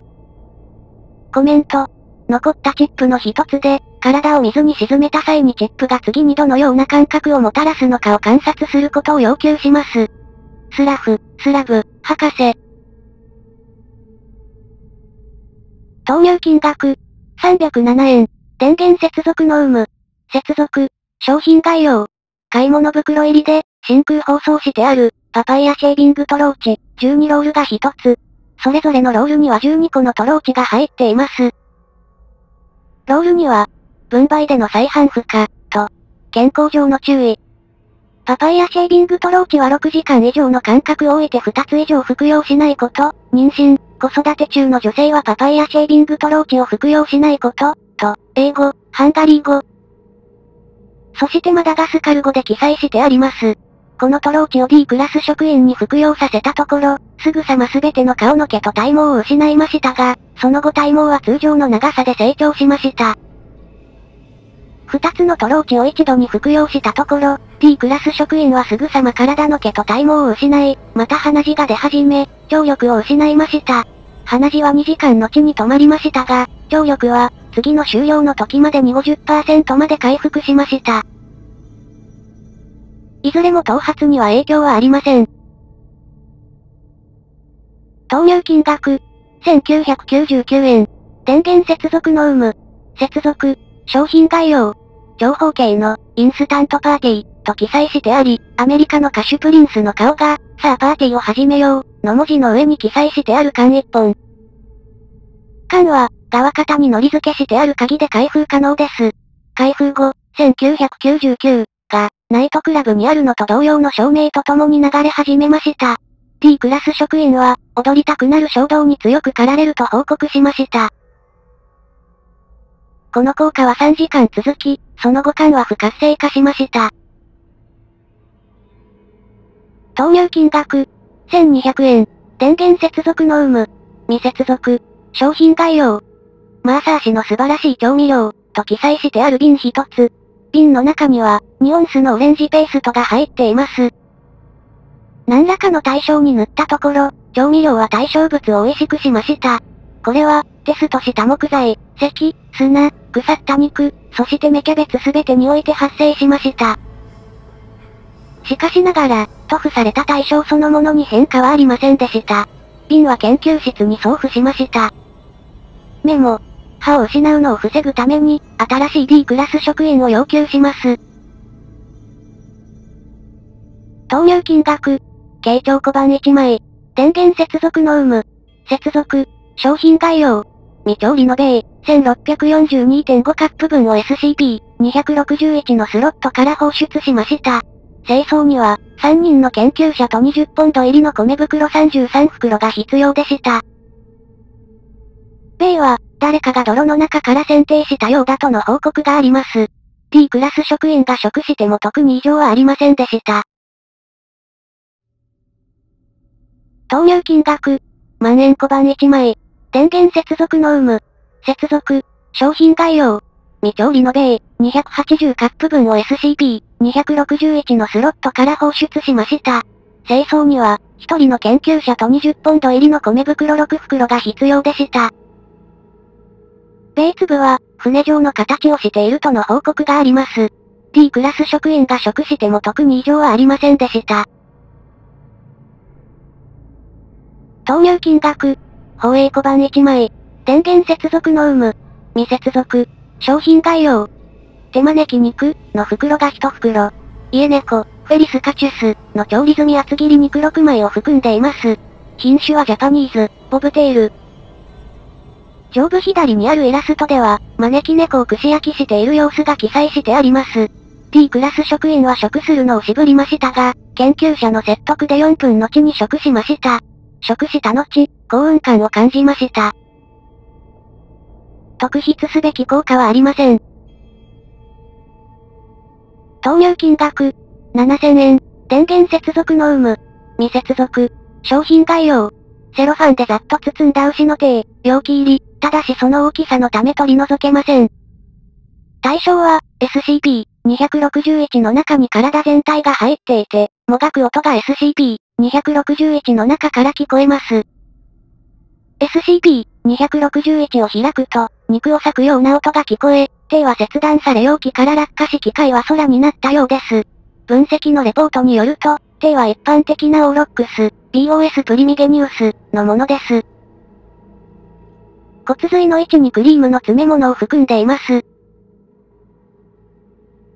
投入金額、700円、電源接続の有無、接続、商品概要、中くらいのサイズの、全く印がないセロハン袋一つ。袋には、60個の薄い、軽く味付けしてあるジャーキーが入っています。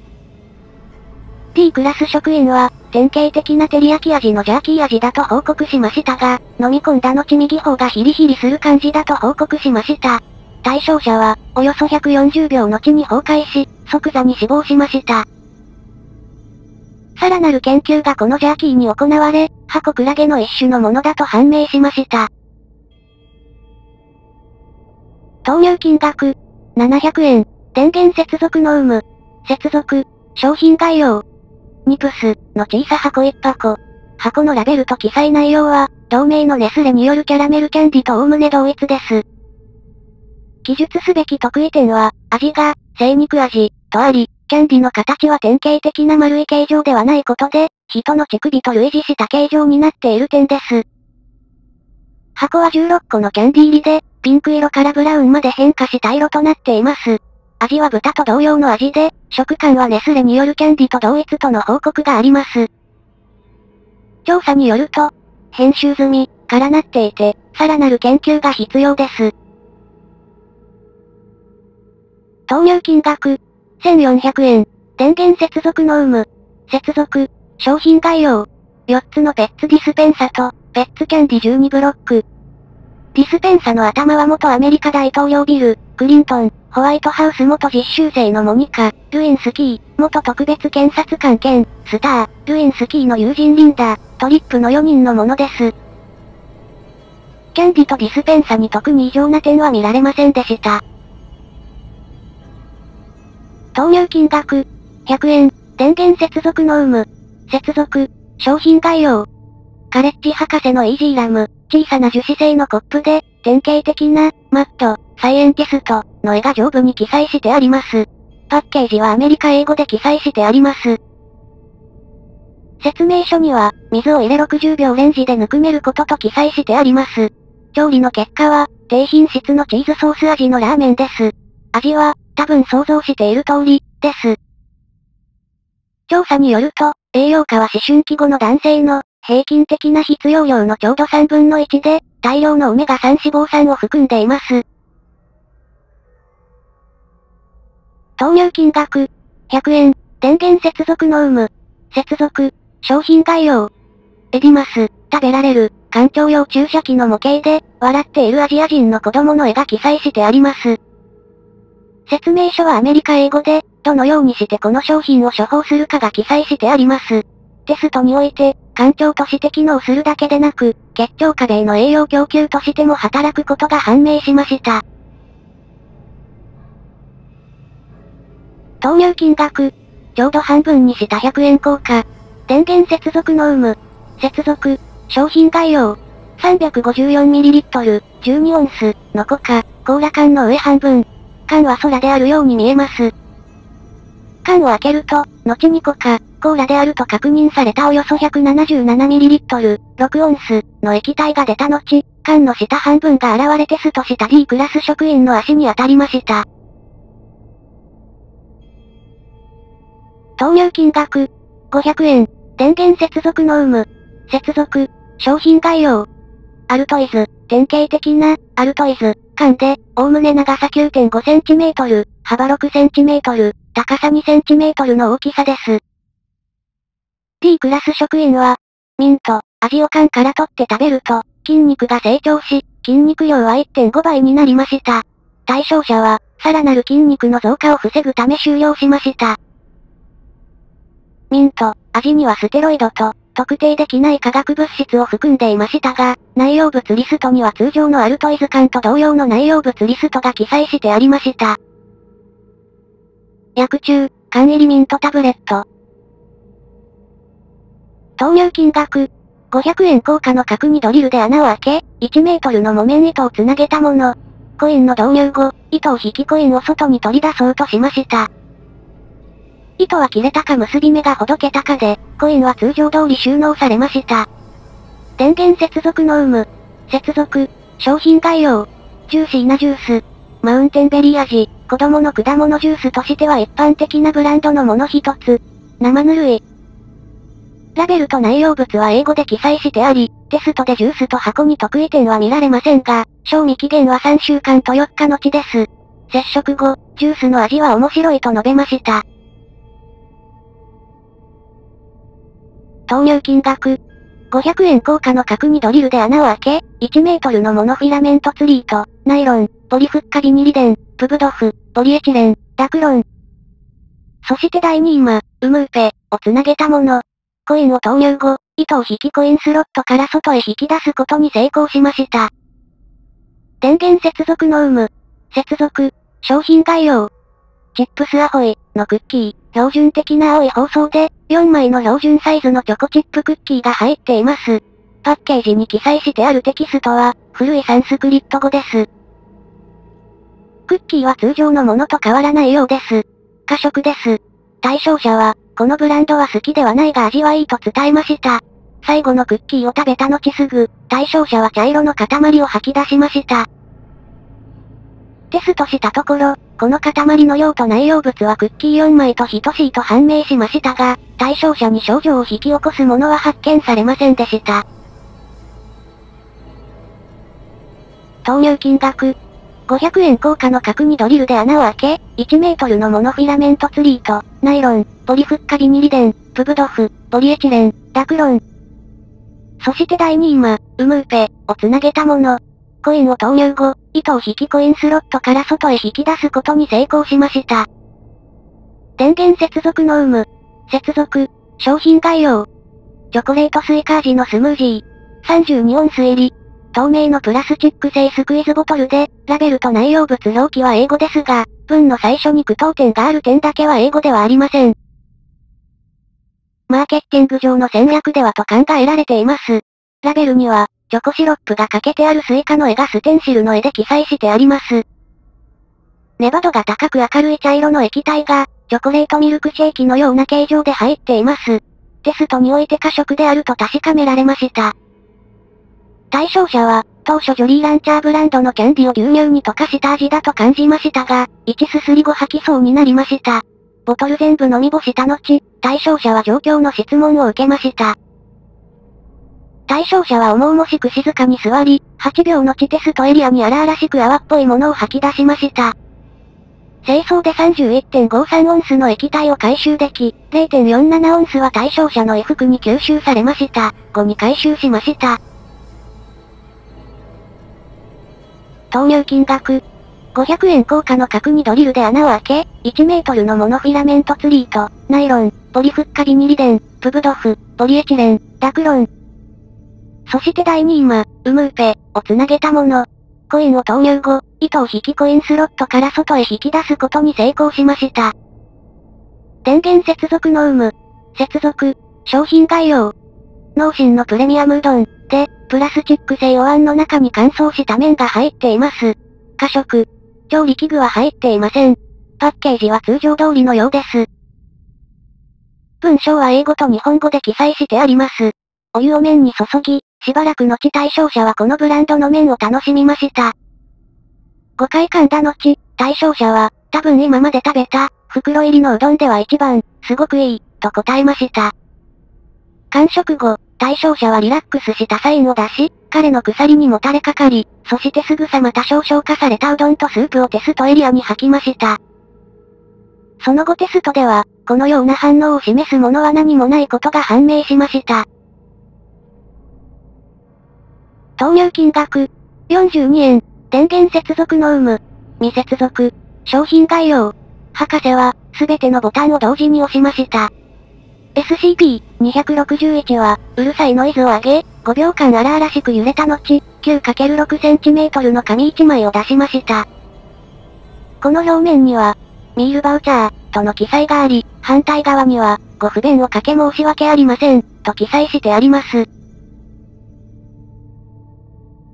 投入金額、777円。電源接続の有無。接続、商品概要。SCP-261 は、777個のチョコレートコインを出す前、スロットマシーンのような音を上げました。投入金額、13円。電源接続の有無。接続、商品概要。アンラッキーチャーム、と記載してあるシリアルの小さな箱で、マシュマロ抜きです。T クラス職員は、味が新鮮でないと報告しました。賞味期限から、年長化していることが分かりました。投入金額、17円、電源接続の有無、未接続、商品概要、標準的な、ゲームボーイ、のポータブルゲーム機で、テトリスのカセットが挿してあります。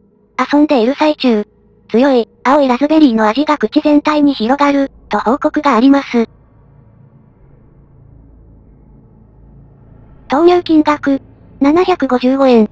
電源接続の有無。未接続。商品概要。明るい黄色のガラス瓶で、黒色のラベルが貼ってあります。サンダーバー、とチェコ語で記載してあり、その下に、警告。48歳以下の人間は消費不可、と黒字で記載してあります。内容物は赤色で、いわば臓器のような液状でした。52歳のクラス D 職員が開けたところ、缶から140デシベルの音響が鳴り、彼女はほぼ耳が聞こえなくなりました。内部に入っていた飲み物を飲み干したところ、ラズベリー味がすると報告した後気絶、横たわりました。後のテストでは、意識を失ったことは体内で自然にアルコールが発生したことによるものと判明しました。一つの疑問があり、それは意識を失った後、当瓶に封をしアルコールが体内に入ったのかということです。もう一つのテストが34歳の被験者で行われました。瓶の開封後、雷鳴の後瓶の中身は消失しました。さらなるテストは予定されていません。投入金額、100円、及び自販機が、100、と表示している状態で追加の100円を投入。電源接続の有無、接続、商品概要、自販機は約5秒間無音となった後、高価返却口から200円を吐き出しました。また自販機からは、小さいながらも約 1.5kg の重さがある滑らかな石に貼られた付箋紙も出力されました。付箋紙には黒いマーカーとおぼしきもので書かれた記載があり、はっきりしろ、という文章が、その下に描かれた怒り顔から直接引っ張られているのが読み取れました。投入金額。500円玉の中央に穴を開け、太い紐を通したもの。穴にはさらにダクトテープの小片を貼り付け、効果が外れないようにしてあります。投入後、紐が引かれ効果の回収に成功しました。電源接続の有無。未接続。商品概要。自販機は5秒ほどためらった後、作動状態の手榴弾を落としました。手榴弾は地面に落ちてから約2秒後に爆発。名が死亡、約、名が重傷、さらに4名が軽傷を負いました。爆発により直径約2メートル、深さ約18センチメートルのクレーターができました。奇妙なことに、自販機そのものは全く無傷でした。ロビーが完全に修復されるまでに血を要しました。氏名、研究員。投入金額、600円、電源接続の有無、接続、商品概要、飴細工の特殊部隊、二つの区画に分けられた小さな樹脂製の袋に入っており、総重量 400g。パッケージは英語、イタリア語、フランス語で書かれています。開封したところ、中には樹脂製のおもちゃに似た形の、緑色と黄色のおもちゃの兵士が入っていました。別色の兵士同士を接触させたところ、双方は約2分間、発砲する真似を行いました。その後、ミニチュアは動くのをやめました。報告された味はペパーミントでした。投入金額、1000円、電源接続の有無、未接続、商品概要、いくつもの小さな白いペレットが詰まった、30g のチューブ1本。パッケージは未知の言語で書かれています。パッケージには、水入りカップにペレットを入れている様子が描かれています。実行したところ、水は即座に熱くなり、ちょっとしたプディングになりました。食べることは可能でしたが、腐ったような不快な味と評されました。投入金額、1500円。電源接続の有無。未接続。商品概要。クアメルス、敵、薬中、キャラメルキャンディー入りの、開け閉め可能な缶。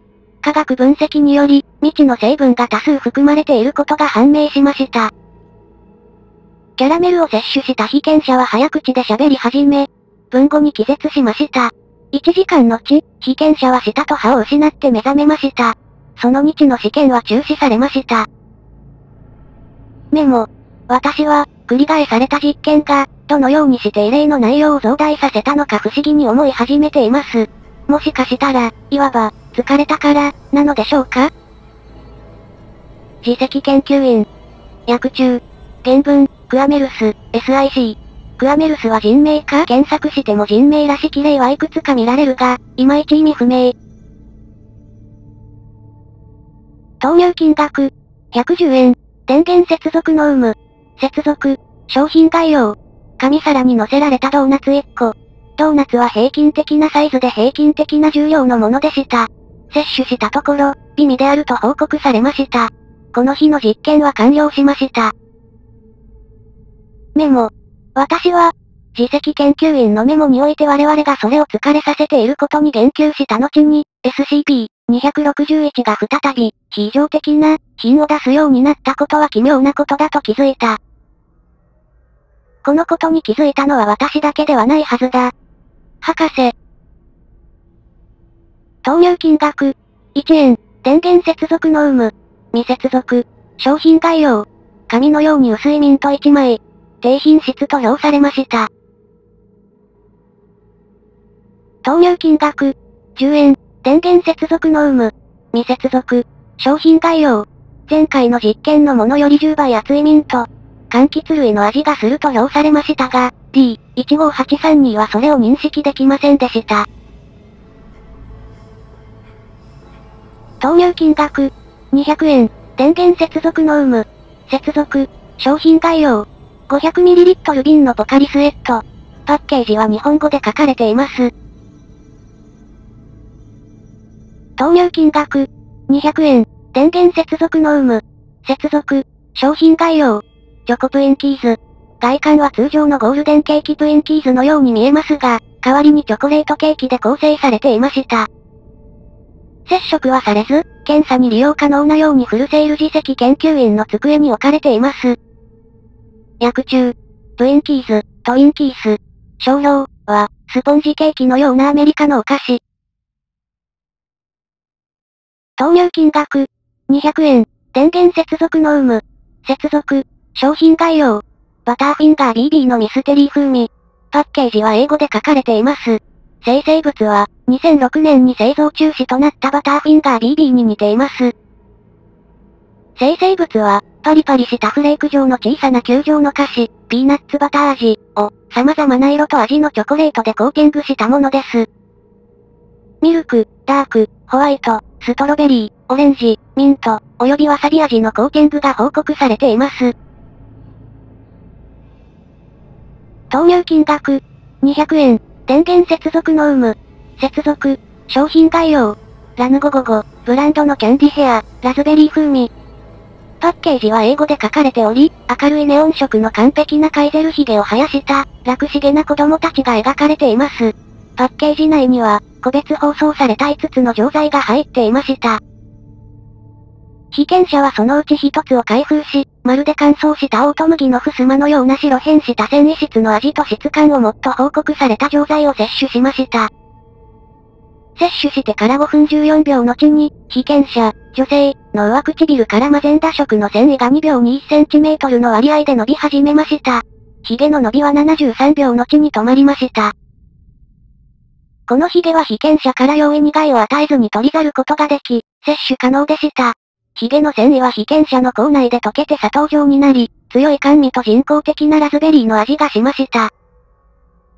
被験者は髭を摂取した後、童心に戻った、ような気がすると報告しました。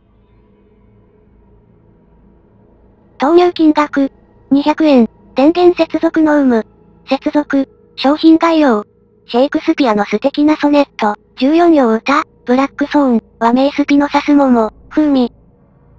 封筒には4枚の上質革紙、上質な用皮紙が入っており、それぞれ、おそらく、シェイクスピアのソネットの一つが、プルヌススピノサ由来のインクで手書きされていました。書かれているソネットは、34、77、121、しかし、145として言及されています。及び正式に認められていないソネットが、219として言及されていました。シェイクスピアが書いたとされるソネットは154編しか知られていないことに留意してください。ソネットが声に出して読まれた時、声の届く範囲にいた人全員が、ダムソンスモモのような酸っぱい味を感じたと報告しました。二度目に読まれた時、同じソネットを聞いても異常は起きませんでした。すべてのソネットは味覚の効果を一度だけ発揮しました。上質革紙を摂取したところ、それは無味乾燥なものでした。投入金額、1500円。電源接続の有無。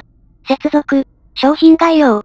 対策ローンの告白キャンディー取り揃え風味。イギリス英語のラベルが貼られた橙色の 5cm×6cm×6cm の箱に、16個のハードキャンディが入っています。個々のキャンディは、味の解説が書かれた包装で包まれています。味には、ミント、レモン、ブドウ、青リンゴ、ブルーラズベリー、バナナ、果物混ぜ合わせ、プッテフルッテ、ミチ、及びメープルが含まれます。キャンディ同士の隙間は、多彩な色のティッシュペーパーによって埋められていました。キャンディを摂取すると、被験者は自分の秘密を不本意に漏らすようになりました。いついかなる形態でのコミュニケーションにおいてもその傾向が見られるようになりました。キャンディに対するより長い暴露は、より深い秘密の暴露を生じることになりました。味による効果の違いは見られませんでした。メモ。ああ、誰もが思っただろうけど、私が何者であるか隠す点は何もないよ。だけどね、こいつは、これはこれで良い物語さ。どうして口にするの？おう、SCP-261 のせいです。私の話はダラダラ長すぎるかな？知っての通り、私の秘密。簡略化のため編集済み、アンドリュー、ガトリング自責研究員。投入金額、500円。電源接続の有無。未接続。商品概要。主に赤い樹脂でできている3.5オンスの袋。英語で、バースデー、モンキーの間抜けなレインボードロップス。と書かれ、SCP-983 らしきものの風刺画が描かれたラベルが貼られています。袋の反対側の面には、8つのエキサイティングな味。ミステリーホワイトは最後に食べてみよう。と現代フランス語、英語、及びドイツ語で書かれています。中には様々な色の砂糖菓子が合計8種類、個別に包装されていました。被験者は全て食べるよう指示されましたが、愛、博士、SCP-983 の試験に巻き込まれた経験あり、の発言により、極めて危険である、として、真っ黒なガムドロップの、ダークリキュール、は残しておくことになりました。被験者は指示通りに食べ始め、ガムドロップを毛嫌いしているにもかかわらず特に、これらについてはまずまずだ、と評しました。現場の研究員たちは、被験者が、ミステリーホワイト、と、ダークリキュール、以外をすべて食した時、その紙食に灰色の筋が入ったと述べています。この効果は、ミステリーホワイト、摂取と同時に消え、被験者からは、明らかにこれが一番良いものだ、と評されました。ダークリキュールは収容され、1983自体から採取されたサンプルと一緒に保管されます。投入金額、500円。電源接続の有無。未接続。商品概要。2オンスの紙箱の、ルーニー、リオネルの傷なめ、定型化された絵文字で印刷されていました。ラベルの左側では漫画的なライオンが、左前足にくっついた青系のキャンディを舐めていました。まさにくっついて舐めて取る、ライオンスタイル。という文章もまた、ラベル下部に印刷されていました。箱の中には様々な色のキャンディ製の包帯が、丸められて24個入っていました。被験者は、それが、バカな、ことであると感じながらも、包帯の一巻きを彼女の手の小さな傷に巻いてみました。橙色の包帯が舐め取られるとすぐに、被験者の傷が完全に治っているのが確認されました。残りのサンプルは将来の試験のために保管されます。投入金額、250円。電源接続の有無。未接続。商品概要。散弾銃の弾丸27発が、6秒間かけて分配されました。発射装置を用いて射程内で6発を試射しましたが異常は見られませんでした。試験後、被験者の D クラスの一人から、各弾丸の底に小さな文字が書かれているのを発見したという報告がありました。即座に再調査したところ報告は真実であると確認され、文字は日本語で、食べられます、と読めました。D クラスが挑戦してみたところ、チョコレートとバナナを混ぜたような味がしたとのことでした。投入金額、US クォーター、2.50か、10枚。1963、1991年まで流通していた貨幣。電源接続の有無。接続、商品概要。予想されたように、現金は返金されました。しかし、以前の試験とは違い、返金されたのは日本円でした。メモ。私は、この機械が我々による扱いに対して順応しようとしているのかどうかを知りたいと思う。今回のケースでは、返金されるコインが適切な操作で配分されるであろうことなど、私は手助けはできないが、この機械はさらなる高度な物品収集の能力を持っているのではないかと、どこから持ってきているのかは知らないが。博士、メモ。蒸気の引用を主張したところ、SCP-261 はその前に投入された2.50化を吐き出し、動作を停止してその後2時間は再稼働しませんでした。投入金額、500円、電源接続の有無、接続、商品概要、約 115g 相当の液体を入れられる、空の広口瓶17個。不思議なことに、すべての瓶には蓋がないだけではなく、同じ大きさのひびが入っていました。すべてのひびは瓶の口から始まり、約30度の角度でギザギザに入っていました。すべての瓶においてひびは約 4.75cm プラスマイナス 0.33cm の長さがありました。投入金額、500円、前回の販売品について記録している最中に試験。電源接続の有無、接続、商品概要、自販機はガタ付き、高価返却口から中期のついた500円を分配しました。中期は、要修理、サービスニーデド、と読めました。中期は日本語を元し、より小さな文字で英語が併記してありました。フォントはボルデドケメスネロマンでした。研究チームがちょうど立ち去ろうとした時に、自販機から17個の瓶の蓋が4秒かけて排出されました。続けて自販機の取り出し口から黄色い粘液がゆっくりと流れ出ました。分析により、蓋は先の実験の瓶にぴったり合うことと、謎の液体が蜂蜜であることが判明しました。試験は丸1日中断されました。メモ、科学者の小さチームが SCP-261 を開けたところ、自販機の主要なフレームが蜂蜜で満たされていることが判明しました。電気回路や電子機器には影響がなかったものの、蜂蜜をすべて取り除くのにさらに3日を要しました。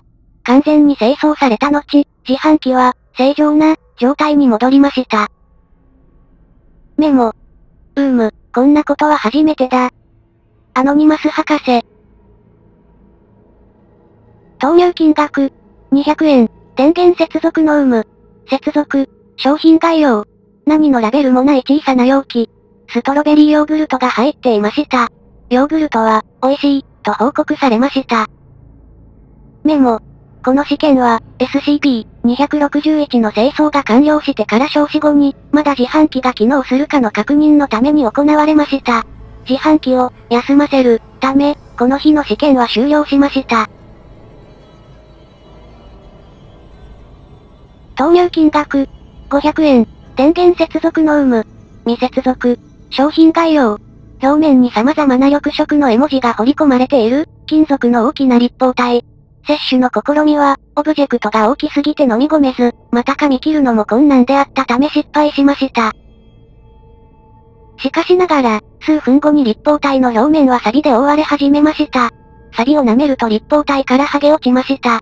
D クラス被験者は、不潔で金属の味がすると報告しました。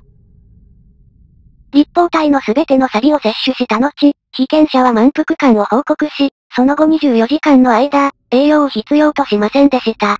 なお立方体上の絵文字は、摂取中に通常状態に戻る前に数秒間明るく輝きました。メモ。数ヶ月の間、大気中の酸素に完全に露出させた状態でストレージ内に保持していたものの、立方体はそれ以上の錆の兆候を見せませんでした。また絵文字は薄れ、大きな赤いかける印に置き換わりました。投入金額、5000円、電源接続の有無、接続、商品概要、ラファテ、ラファティ、ティーカップを手にした青年男性がまさにこちらを指さしているイメージが描かれた、黄色いジュース缶。初期の効果は、D クラスが爆笑し始めて止まらなくなるというものでした。約20分17秒のち、笑いは完全に止まりました。さらなる調査により、被験者は体脂肪を 0.7kg 分失っていたことが明らかになりました。被験者はまた、校内に温かくソフトなレモン味を感じたと報告しました。メモ。缶側面のラベルに書かれた栄養素は、合計でマイナス5620カロリーとなっていました。訳注。ラファーティは人名ですが、 laugh は、笑いの元、という意味があります。 laugh tasty、と掛けている投入金額、700円、電源接続の有無、接続、商品概要、青と金色の紙箱。パッケージは遠隔操作で開かれました。中には青い鉛筆削り器と、様々な香りがする色鉛筆が入っていました。色鉛筆を発ると鉛筆削り器の後部が開き、ランダムな薄切り果物が分配されました。残っている色鉛筆は14本です。投入金額、600円、電源接続の有無、接続、商品概要、ルービックキャンディキューブ、硬いキャンディ製の未解決のルービックキューブ。パズルを解決すると、それは分解し中から二次色のキャンディが現れます。この二次色キャンディを食すと、キューブのかけらはより集まり、再びランダムなパターンで組み上がります。再びパズルを解決すると別のキャンディが現れました。投入金額、150円、電源接続の有無、接続、商品概要。ワンダーテインメント博士の驚きの風船ガム。小さな桃色の球状の風船ガムが、ガムを飲み込まないようにという警告が書かれた樹脂製の包装に包まれています。外見は、D14376 が膨らませるまでは平凡でした。大型花火の爆発と同等の威力で炸裂する前に、膨らみは直径 170cm に達しました。奇妙なことに、部屋内の他の全員が聴覚喪失とめまいをかむりましたが、D14376 は影響を受けませんでした。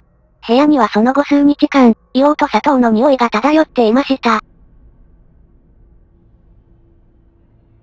投入金額、1000円、電源接続の有無、接続、商品概要、多言語の缶詰、現代語、日本語で書かれていました。成分量は見当たりません。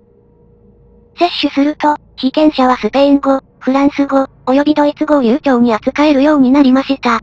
効果は1時間後に消えました。投入金額、1000円、電源接続の有無、接続、商品概要、多言語の缶詰、古代語、日本語で書かれていました。成分量は見当たりません。摂取すると、被験者はギリシャ語、ラテン語、及び古代シュメール語を流暢に扱えるようになりました。効果は1時間後に消えました。投入金額、100円、電源接続の有無、接続、商品概要、コカ・コーラ。本来のコカ・コーラ缶と同様の形状に見えます。通常のコカ・コーラと同様の味がしました。缶もまた食べられることが判明。バニラ味でした。投入金額、500円。電源接続の有無。接続、商品概要。恋人否定キャンディ、 Unsweethearts Candies、というロシア語のラベルが貼られた箱。パッケージにはラベル以外には文字もバーコードも書かれておらず、ラベルには製造場所がフランスのリヨンであると示されています。中には涙雫型のキャンディが25個入っており、それぞれにロマンチックな関係の崩壊をテーマとした一文が印刷されていました。例として、あなたを忘れるために飲みます。あなたは私の拘束命令の理由です。など。試験により、キャンディにはそれぞれ 1mg のシアン化け物が含まれていることが明らかになりました。投入金額、250円。電源接続の有無。接続、商品概要、ガム質のクマが詰められている、ラベルのないパッケージ。分析により、それらが完全に正常であることが判明。どちらかといえば、一般的なガムの袋詰めよりも砂糖の含有量は少なめでした。被験者 D4221 は、これらが美味であると報告し、返却を拒否。彼に持たせ続けることを決定しました。この日の試験は終了しました。メモ、以下の実験前に、SCP の収容違反が発生。迅速に再収容されるまでの間に、サイトの電源は破損し、修理のために遮断する必要がありました。目立った違いが起きるかどうかの確認のため、SCP-261 を補助電源で動作させる試験が決定されました。一貫性を持たせるため、電源接続の有無は、補助電源供給、パーティアリーパウレド、として分類します。投入金額、250円。電源接続の有無。補助電源供給。商品概要。ミルクと思われる液体で満たされた2リットル容器。悪い価値、BAD バリュー、というロゴが見られ、せーの。のパロディの可能性があります。D、4242は、即座にそれに挑戦することを決心しました。ヤギの乳と牛乳を混ぜたような味がする、と報告されました。興味深いことに、賞味期限は、3127年2月14日、となっていました。メモ。まあぶっちゃけこいつはそんな悪い飲み物でもねえな。お前ら何にビビってんだ ?IT ホネストリースン、T タット BADVN、T ノーホーティアウジサレフリーキン、アウトアバウット。D、4242、ウォルター博士は、これを書き留めることを強く主張しました。投入金額。500円玉の中央に穴を開け、太い紐を通したもの。穴にはさらにダクトテープの小片を貼り付け、効果が外れないようにしてあります。投入後、紐が引かれ効果の回収に成功しました。前回の同様な試験に出席していたヤッツ博士は、それが引き戻される際、非常に神経質であるように見えました。電源接続の有無。補助電源供給。商品概要。自販機は5秒ほどためらった後、手榴弾を落としました。手榴弾は地面に落ちてから約2秒後に爆発して飛び散りました。しかし、爆風の代わりに紙吹雪が、ノイズ発生器の音とともに生じました。部屋にいた人すべてが、爆発の直後にペパーミントの強い香りがしたと報告しました。メモ。私は死ぬ気はない。私は、罵倒の言葉、このようなコイントリックの実験をするなら、私はもうこの部屋には入らんぞ。非常に神経質なやつ博士。投入金額、1000円、電源接続の有無、補助電源供給、商品概要、12オンスの赤いアルミ製のジュース缶、ラベルなし、D、4242が即座に開封し、一部を飲みました。報告によると、うえこの味は、死んだ芋虫のようだ。投入金額、200円、電源接続の有無、補助電源供給、商品概要、コイン型チョコレート200枚。奇妙なことに、わずかに四角ばった形でした。これらについて何の異常も報告されませんでした。メモ。この時点でこの日の試験は終了しました。発電所は同日2322に復旧し再稼働しました。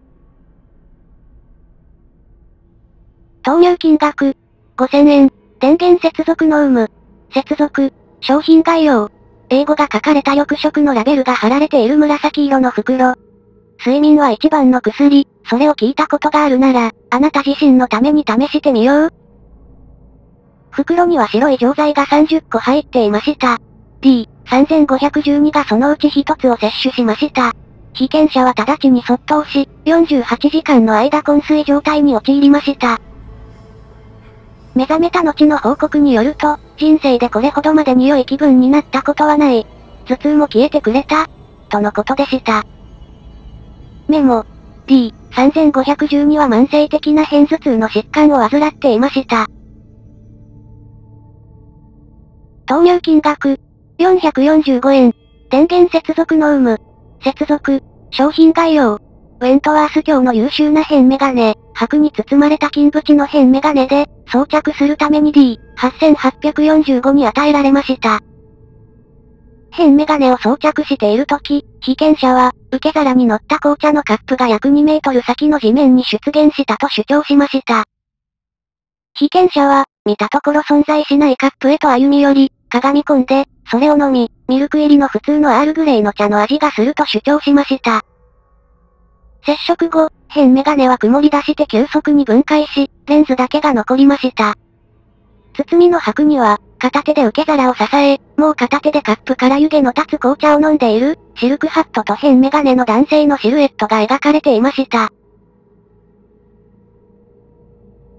投入金額、半分になった500円玉、電源接続の有無、接続、商品概要、小さな青い球体を排出する前に、自販機は約3分間激しく振動しました。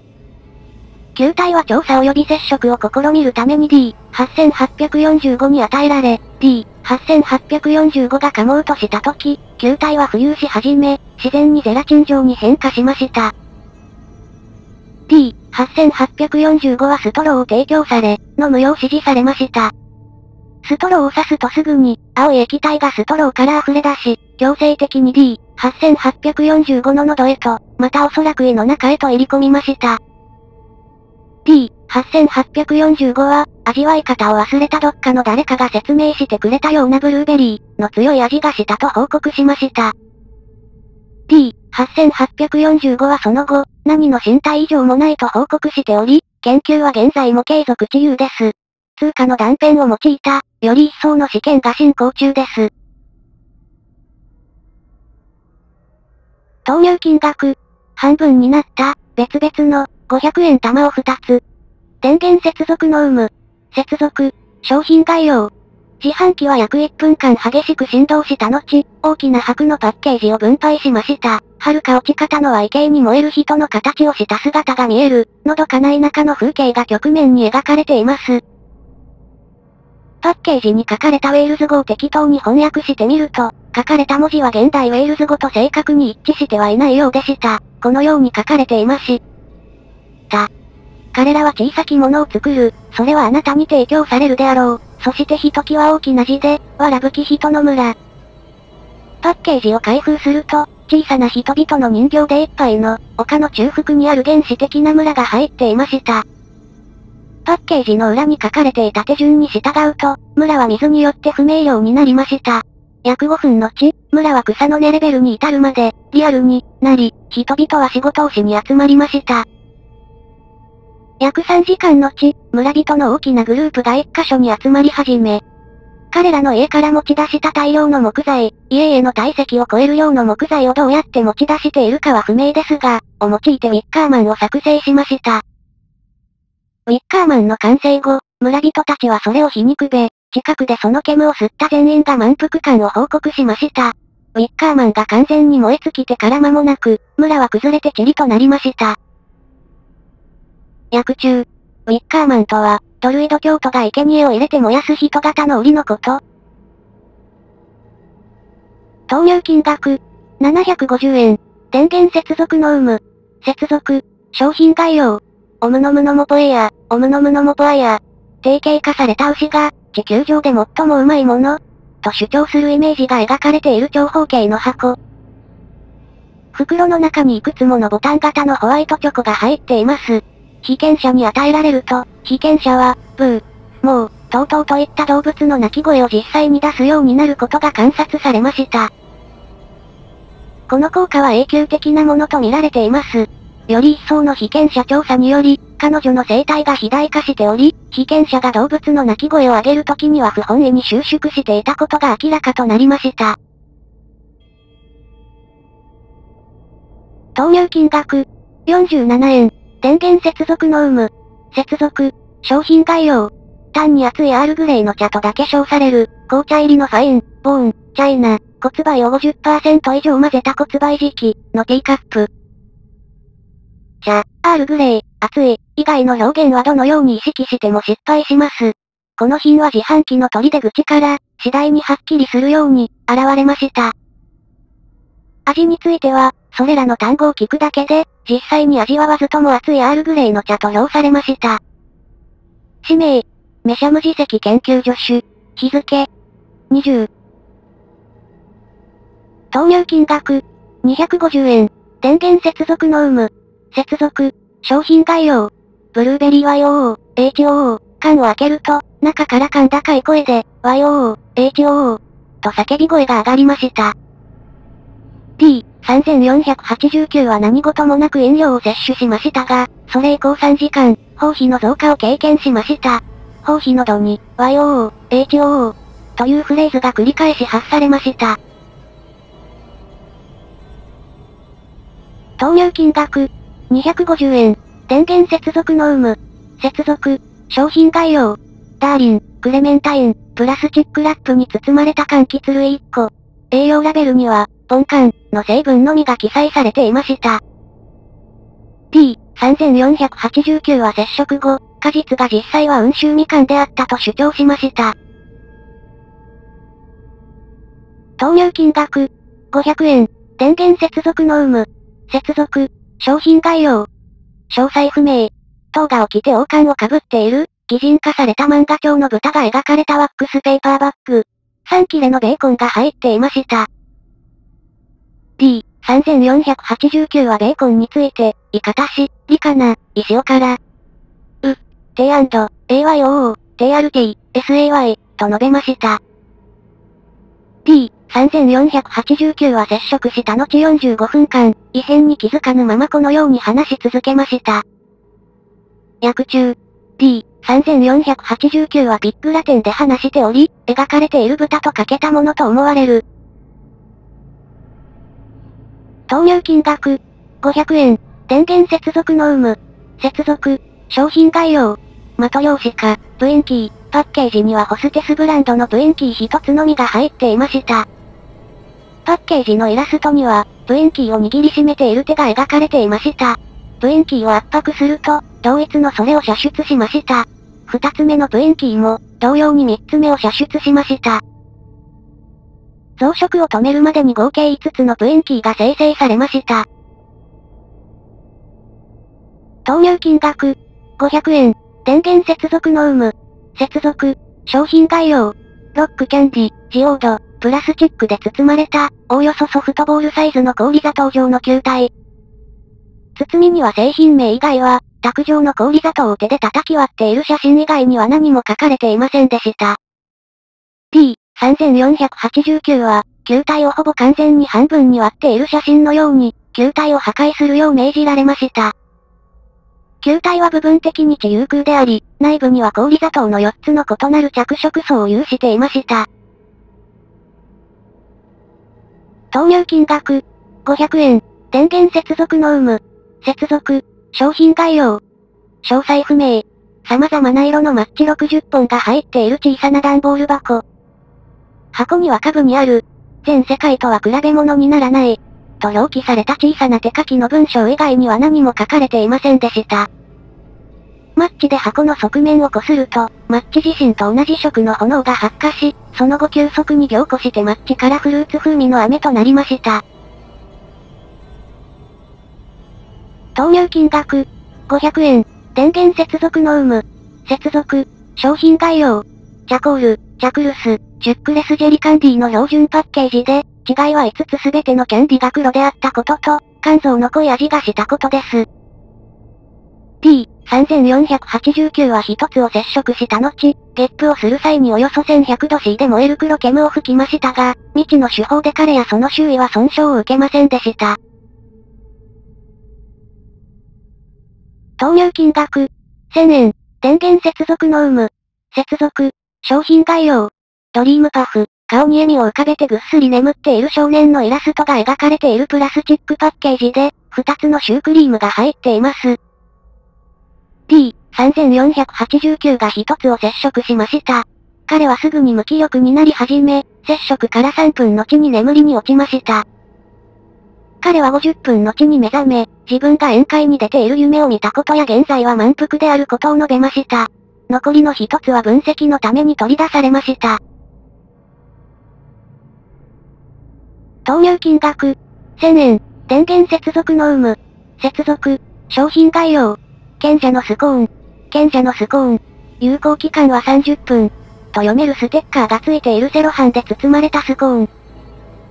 T、3489は何事もなく接触しました。味がなく、満腹感もないと説明されました。補足。SCP-261 の実験の4日後、SCP との実験中だった D、3489が激しく内臓を飛び散らせました。彼は致命傷を受けてから30分間生存し、その間に SCP に関する貴重な情報を提供できました。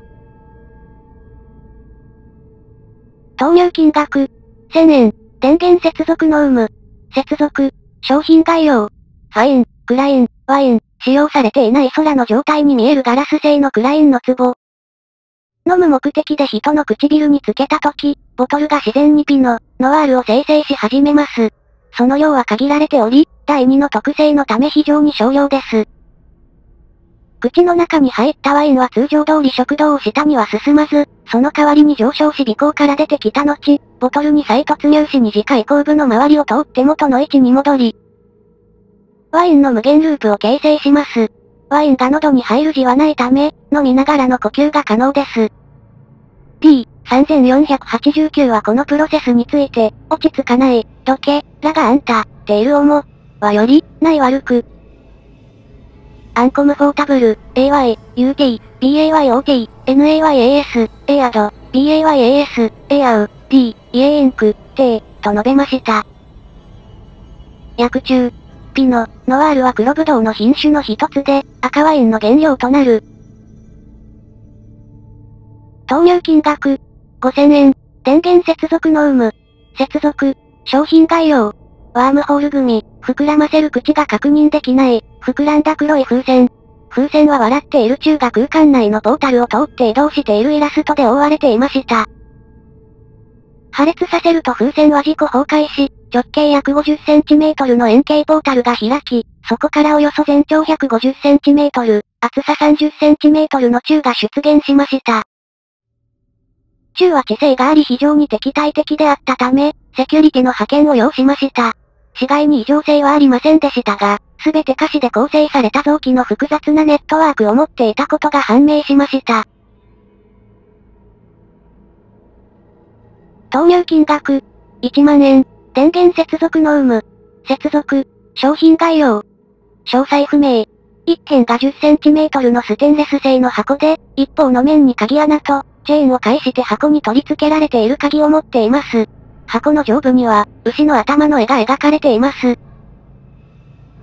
実験は隔離室に移動して行われました。鍵を回して箱を開けると、9cm のチョコレート製のミノタウロスが出現し、俺はミノタウロスだ。と宣言するよりも前に急速に9メートル以上の高さに成長しました。ミノタウロスは無意識に D3489 を棍棒で殴ろうとしました。セキュリティは牛の身体に向けて無害な銃弾を用いて発砲しました。牛は崩壊しましたが、セキュリティの一人が腕に軽い切り傷を負いました。死骸に異常性はなく完全にミルクチョコレートで構成されており、重量は 754kg を記録しました。投入金額、700円。電源接続の有無、未接続。商品概要。訴求、リトロークティビテス。鮮やかに着色されたホイールの包みに、時計を持った非常に硬いキャンディが12個入っていました。キャンディが被験者の舌と接触した瞬間、消えたかのように見えました。その後被験者の6時間前の記憶が、キャンディを受け取って舐めているといった内容に改変されました。研究員の記憶やセキュリティ映像が改変されていないのは明らかですが、被験者はある程度舐めてからの改変された記憶に一致する生理的変化、軽度の脱水症状、立ち続けていることからの関節残り、歯のエナメル質の劣化を含む、を呈しています。味は、感動的、と評されています。投入金額、1000円、電源接続の有無、未接続、商品概要。マジックポーション、パッケージにステレオタイプなウィザード風の服を着た像のマスコットが描かれているソーダ飲料。カップに注意だとき、内容物は、白色と青色がまばらに見える黒色の液体、から構成されていました。飲用した被験者は、違う、と感じたと同時に痙攣し始めました。被験者は気絶し、2分後に目を覚ましました。その後様々な動物のように、20分ごとに種を切り替えながら振る舞いました。4時間後に被験者は気絶し、2分後に再び目を覚ましました。被験者はこの行動について尋ねられましたが、動物があまり好きではなくなった、過程についてのみしか供述しませんでした。被験者は現在、動物に対する奇妙な恐怖感を主張しています。投入金額、200円、電源接続の有無、接続、商品概要、蛍光紫色のゴシック体の英語で、消費、と縦方向にラベルされている、蛍光浴色をしたソフトプラスチック製のスクイズボトル。ボトルの底面付近には戦術のラベルに対して垂直に、うまい、とのイチゴとともにサムズアップアイコンが印刷されていました。六角形のコードパターンがメインラベルの反対側に印刷されていましたが、基地の製品の識別コードには対応していません。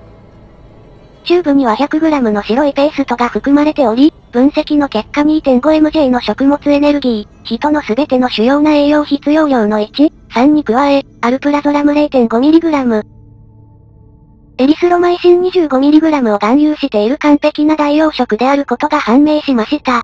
被験者は、ほのかにバニラの味がしたと評しました。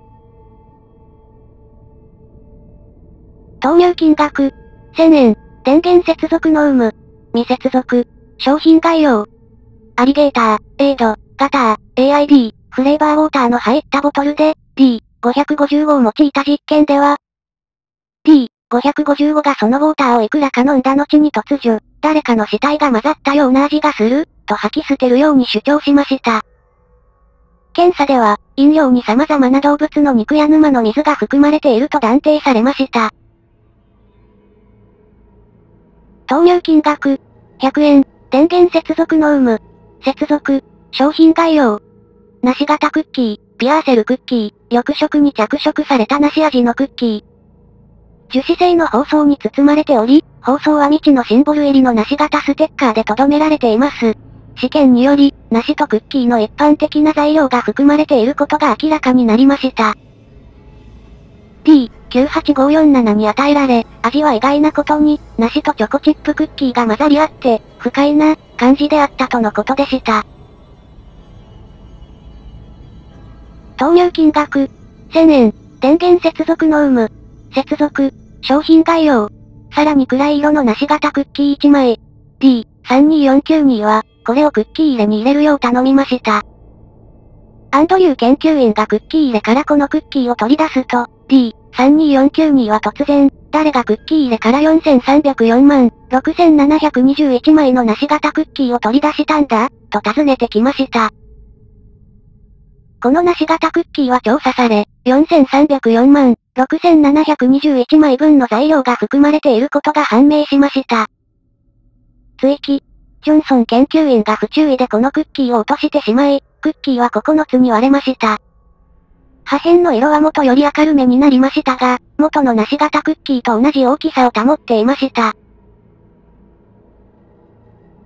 投入金額、に分割してから接着した50円玉1枚。片側はローリ逆になっています。電源接続の有無。接続。商品概要。概念のクッキー、開け口のない樹脂箱に入れられています。箱には金属製のスロットとボタンがついていました。これらには何の存在感もありませんでしたが、試験者たちは皆これらの存在について、知って、いました。被験者がボタンを押そうと、考えた、ところ、1枚のクッキーが排出されました。被験者はクッキーを手にしましたが、誰もそれの正確な位置を示せないにもかかわらず、ビデオ記録にはクッキー、スロット及びボタンが映っていました。セキュリティカメラには、違う時間にクッキーが食べられる様子が映っています。再度 SCP-261 を使用した後、報告書の記録は1枚のクッキーの表示に変化していました。何名かの研究員は常に1枚のクッキーがあったと報告し、何名かはクッキーについて、知って、吐いたものの底にはなかったと報告しています。これは、クッキーの、概念、のみが存在していたと仮定されており、効果によってクッキーが半分実体化し、SCP 261がそれを保っていたものの、SCP-261 が再使用された際に、停止、したという理論が立てられています。被験者はクッキーが、半分チョコレート、であり、状態を、まさに知って、いたと報告しています。投入金額、に分割してから接着した50円玉1枚。片側はローリ逆になっています。電源接続の有無、未接続、商品概要。前回と同様の効果で、クッキーが明るい線香と共に創造された後、印のない青色の箱に入った普通のクッキーが残りました。この箱は樹脂製の窓付きで、上部が開閉可能でした。クッキーは、何の異常性もないチョコレートクッキーでした。キング博士。投入金額、10万円。電源接続の有無。接続、商品概要。10万個のリンゴの種。それらは美味しそうに見えます。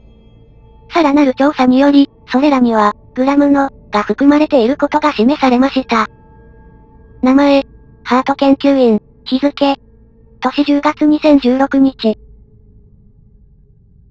投入金額、500円、電源接続の有無、接続、商品概要。オタクエディション、ポッキー、ラベルは砕けたローマ字の日本語、ハート研究員は、インターネットで撒き散らされる類のような、と評しました。で書かれています。歌詞自体は、一部を砂糖衣に浸し友情チョコを散りばめた棒状のプレッツェルでした。江崎グリコはこの種類のポッキーを販売していません。投入金額、200円、電源接続の有無、接続、商品概要。ガムの剣闘士、中央に不透明な仕切りがある樹脂製のチューブで、仕切りには紙のタブがついておりチューブから突き出ています。チューブ内の各側で、古代ローマの剣闘士の姿をした人型のガム人形が1体ずつ動き回っていました。手順とラベルはラテン語で記載されていました。翻訳された手順に従い、タブを引き抜いて中央の仕切りを取り去りました。仕切りが取り去られると、人形は互いを認識し即座に戦い始めました。約3分後、片方の人形はもう片方を倒した後、横たわって眠ったように見えました。次の手順に従い、チューブが破れて開くまで両端を引っ張りました。ガム人形はチェリージュースの味がしたと報告されました。投入金額、300円、電源接続の有無、接続、商品概要。チキンキャンディ缶、漫画的なひよこのパッケージを持つ金属の円筒。ラベルは中世の英語で書かれています。缶の中にはいくつものマジパン製の羽や、分類された色のいくつかのガム質の、肉、と骨、そしてフルーツ味の殻を持つ卵が一つ入っていました。開けられると、それは溶けたホワイトチョコレートで満たされ、キャラメル製の、卵黄、とガムのひよこが入っていることが明らかになりました。投入金額、186円。電源接続の有無。接続、商品概要。金属製のスタンドに取り付けられた輝くガラス玉。ラベルは奇妙な、様々な色の渦巻き状の象形文字で書かれていますが、現在のところ解読できていません。玉の光に照らされた人々は、楽しい、デライトフル、味を報告し、彼らはさらなる説明を拒むものの、性的活動が適度に増大していました。玉を調査しましたが、機器の出力には異常性は見られませんでした。メモ。上記の記載は今や正しくありません。オブジェクトは、放射能の異常な増加を示した後、封じ込める必要がありました。分解と分析により、半径、M 内にて、小規模の物質的な転移と同時に非常に不安定と思われる多数の各種の存在が明らかになりました。古い SF 小説のファンである、博士は提言しています。あなたが銀河系の半分を台無しにしたくないならば、できる限り完全にそのようなものを取り除きなさい。投入金額、25円、電源接続の有無、接続、商品概要。正面を横切って、インスタ、マッシュ、と書かれている、赤と橙色の小さなボール紙の箱。下にはより小さい字で、一人分、と書かれています。箱の左側には、マッシュポテトが入っているように見える明るい青色の樹脂製のボールがあり、逆の側には成分表、じゃがいも、粉ミルク、インスタントバター、及び食物情報ラベルがありました。最も注目すべきことは、飽和脂肪含有量が健康な成人の1日の推奨摂取量の188%に達していることです。箱には、健康的な摂取分量のわずか10%であると書かれているにもかかわらず、箱の外側には、ランダムな位置にジャガイモのイメージが印刷されており、その後ろでは、連結式アームを介して未知のハイテクな電気ミキサーに取り付けられた3連卵泡立て器によってマッシュポテトに加工されているように見えるイメージが印刷されています。このイメージの下には、かぶりつきたい味のために、FOR タトディグ、インフレーバー、と印字されており、また境目に近い場所には極端に小さな文字で、コピライト2077、と印字されていました。箱を開けると、箱の側面に印刷されていたものと同様な小さな青いボールがあり、樹脂製のスプーン及び、白い粉が入っている黄色島の老子製の小袋と共に見つかりました。小袋には、手順、コップ一杯の熱湯に入れる、と印字されていました。手順に従って小袋を用いたところ、できたものは外部に見られたようなボールにマッシュポテトと溶けたバターが入っているものでした。試験の被験者はそれを直接消費し、美味であることに気づいて、今まで食べた中で一番良いじゃがいも、であると称しました。被験者を監視したところ、食後1週間の間コレステロールが300%と突出していましたが、その後は通常の状態に戻りました。投入金額、25円、電源接続の有無、未接続、商品概要、前回の実験のものと似たようなボール紙の箱、蒸気参照、ですが、バターは箱の一面からはみ出すほど大量でした。背面には、上限20、という文字が、黒いマーカーもしくは油性鉛筆により乱暴な手書き文字で書かれていました。箱を開けると、ボールと小袋は同様のものでしたが、スプーンは極度の熱にさらされたかのようにわずかに溶けていました。当品は前回と同様の手順により試験され、被験者からは前回と同様の肯定的な反応が得られましたが、食後1時間経ってから被験者は制御不能な吐き気に襲われ始めました。一連の身体検査の後、被験者は激しい放射線障害に苦しめられていることが判明しました。被験者の治療後、当品の残りはボールもスプーンも包装も高い放射能を発しており、また放射性効果物の跡があることが示されました。投入金額、1万円、電源接続の有無、未接続、商品概要。何ら表記のない小さなガラスのビーカーで、一見損耗しており英語で、ダークアイ、と表記されている紙ラベルのみが貼られており、コルクで封がなされています。商品には調理油ほどのネバドを有する純黒色の液体が約 200ml 含まれており、実験ではそれが閉じ込められた光の粒子のみで構成されていることが判明しました。P4924 にこれを飲むよう指示したとき、彼女はまず匂いを鍵無臭である旨を供述し、その後飲んだ際には肝臓風味であると供述しました。即時での効果はありませんでしたが、d 4924は消費から1時間後に左目に軽度の刺激を感じたことを報告し、翌日に起床した後には左目に感覚がなかったことを報告しました。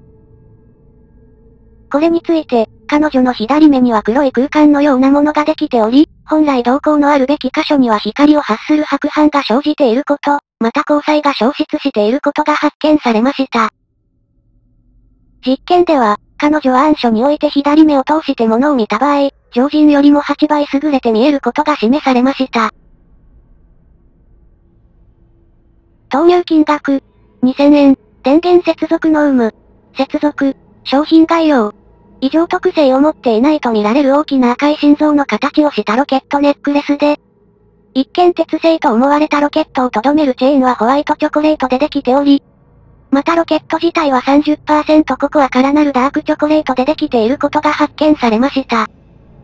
最初、D10416 にはネックレスを着用するよう指示されましたが異常特性には何ら暴露せず、次に D10416 はそれを接触するように指示され、完全に接触した後 D10416 は予期外により多くのチョコレートを要求し、後に1日に少なくとも1本のチョコレートバーを要求する習慣をつけるようになり、この試験では彼女の精神年齢が10歳にまで低下したことが判明しました。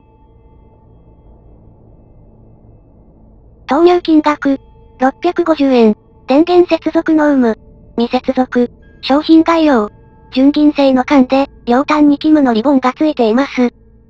缶のラベルは未知の言語で書かれており、入力した数字は650で高さは約5インチ、直径は約10センチメートルです。内部からは高音域のメイド音が聞き取れます。缶は隔離施設へ運ばれました。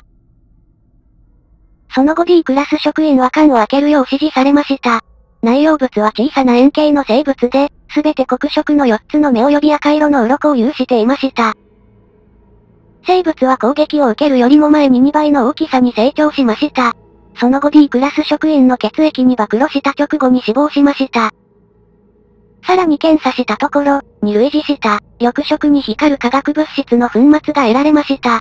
また DNA 検査では、この生物が未知の種であることが判明しました。D クラス職員が受け大量検査では、データ削除。薬中。リビーレドをリビレドとミススペルしていると思われる。投入金額。上に漢字で、キャシーのために何かちょうだい、と書いた千円札。電源接続の有無。接続。商品概要。3インチ ×5 インチのピクニックバスケット。チェック柄のグラウンドクロス。手回し式のアイスクリームメーカーが描かれています。この絵を SCP-85 に引き合わせる要請はオフアイブの承認待ちです。投入金額。2万5千円。電源接続の有無。接続。商品概要。表記のない大きなビニール袋で、中に白い心臓を持ったジョーブレーカー、薬中。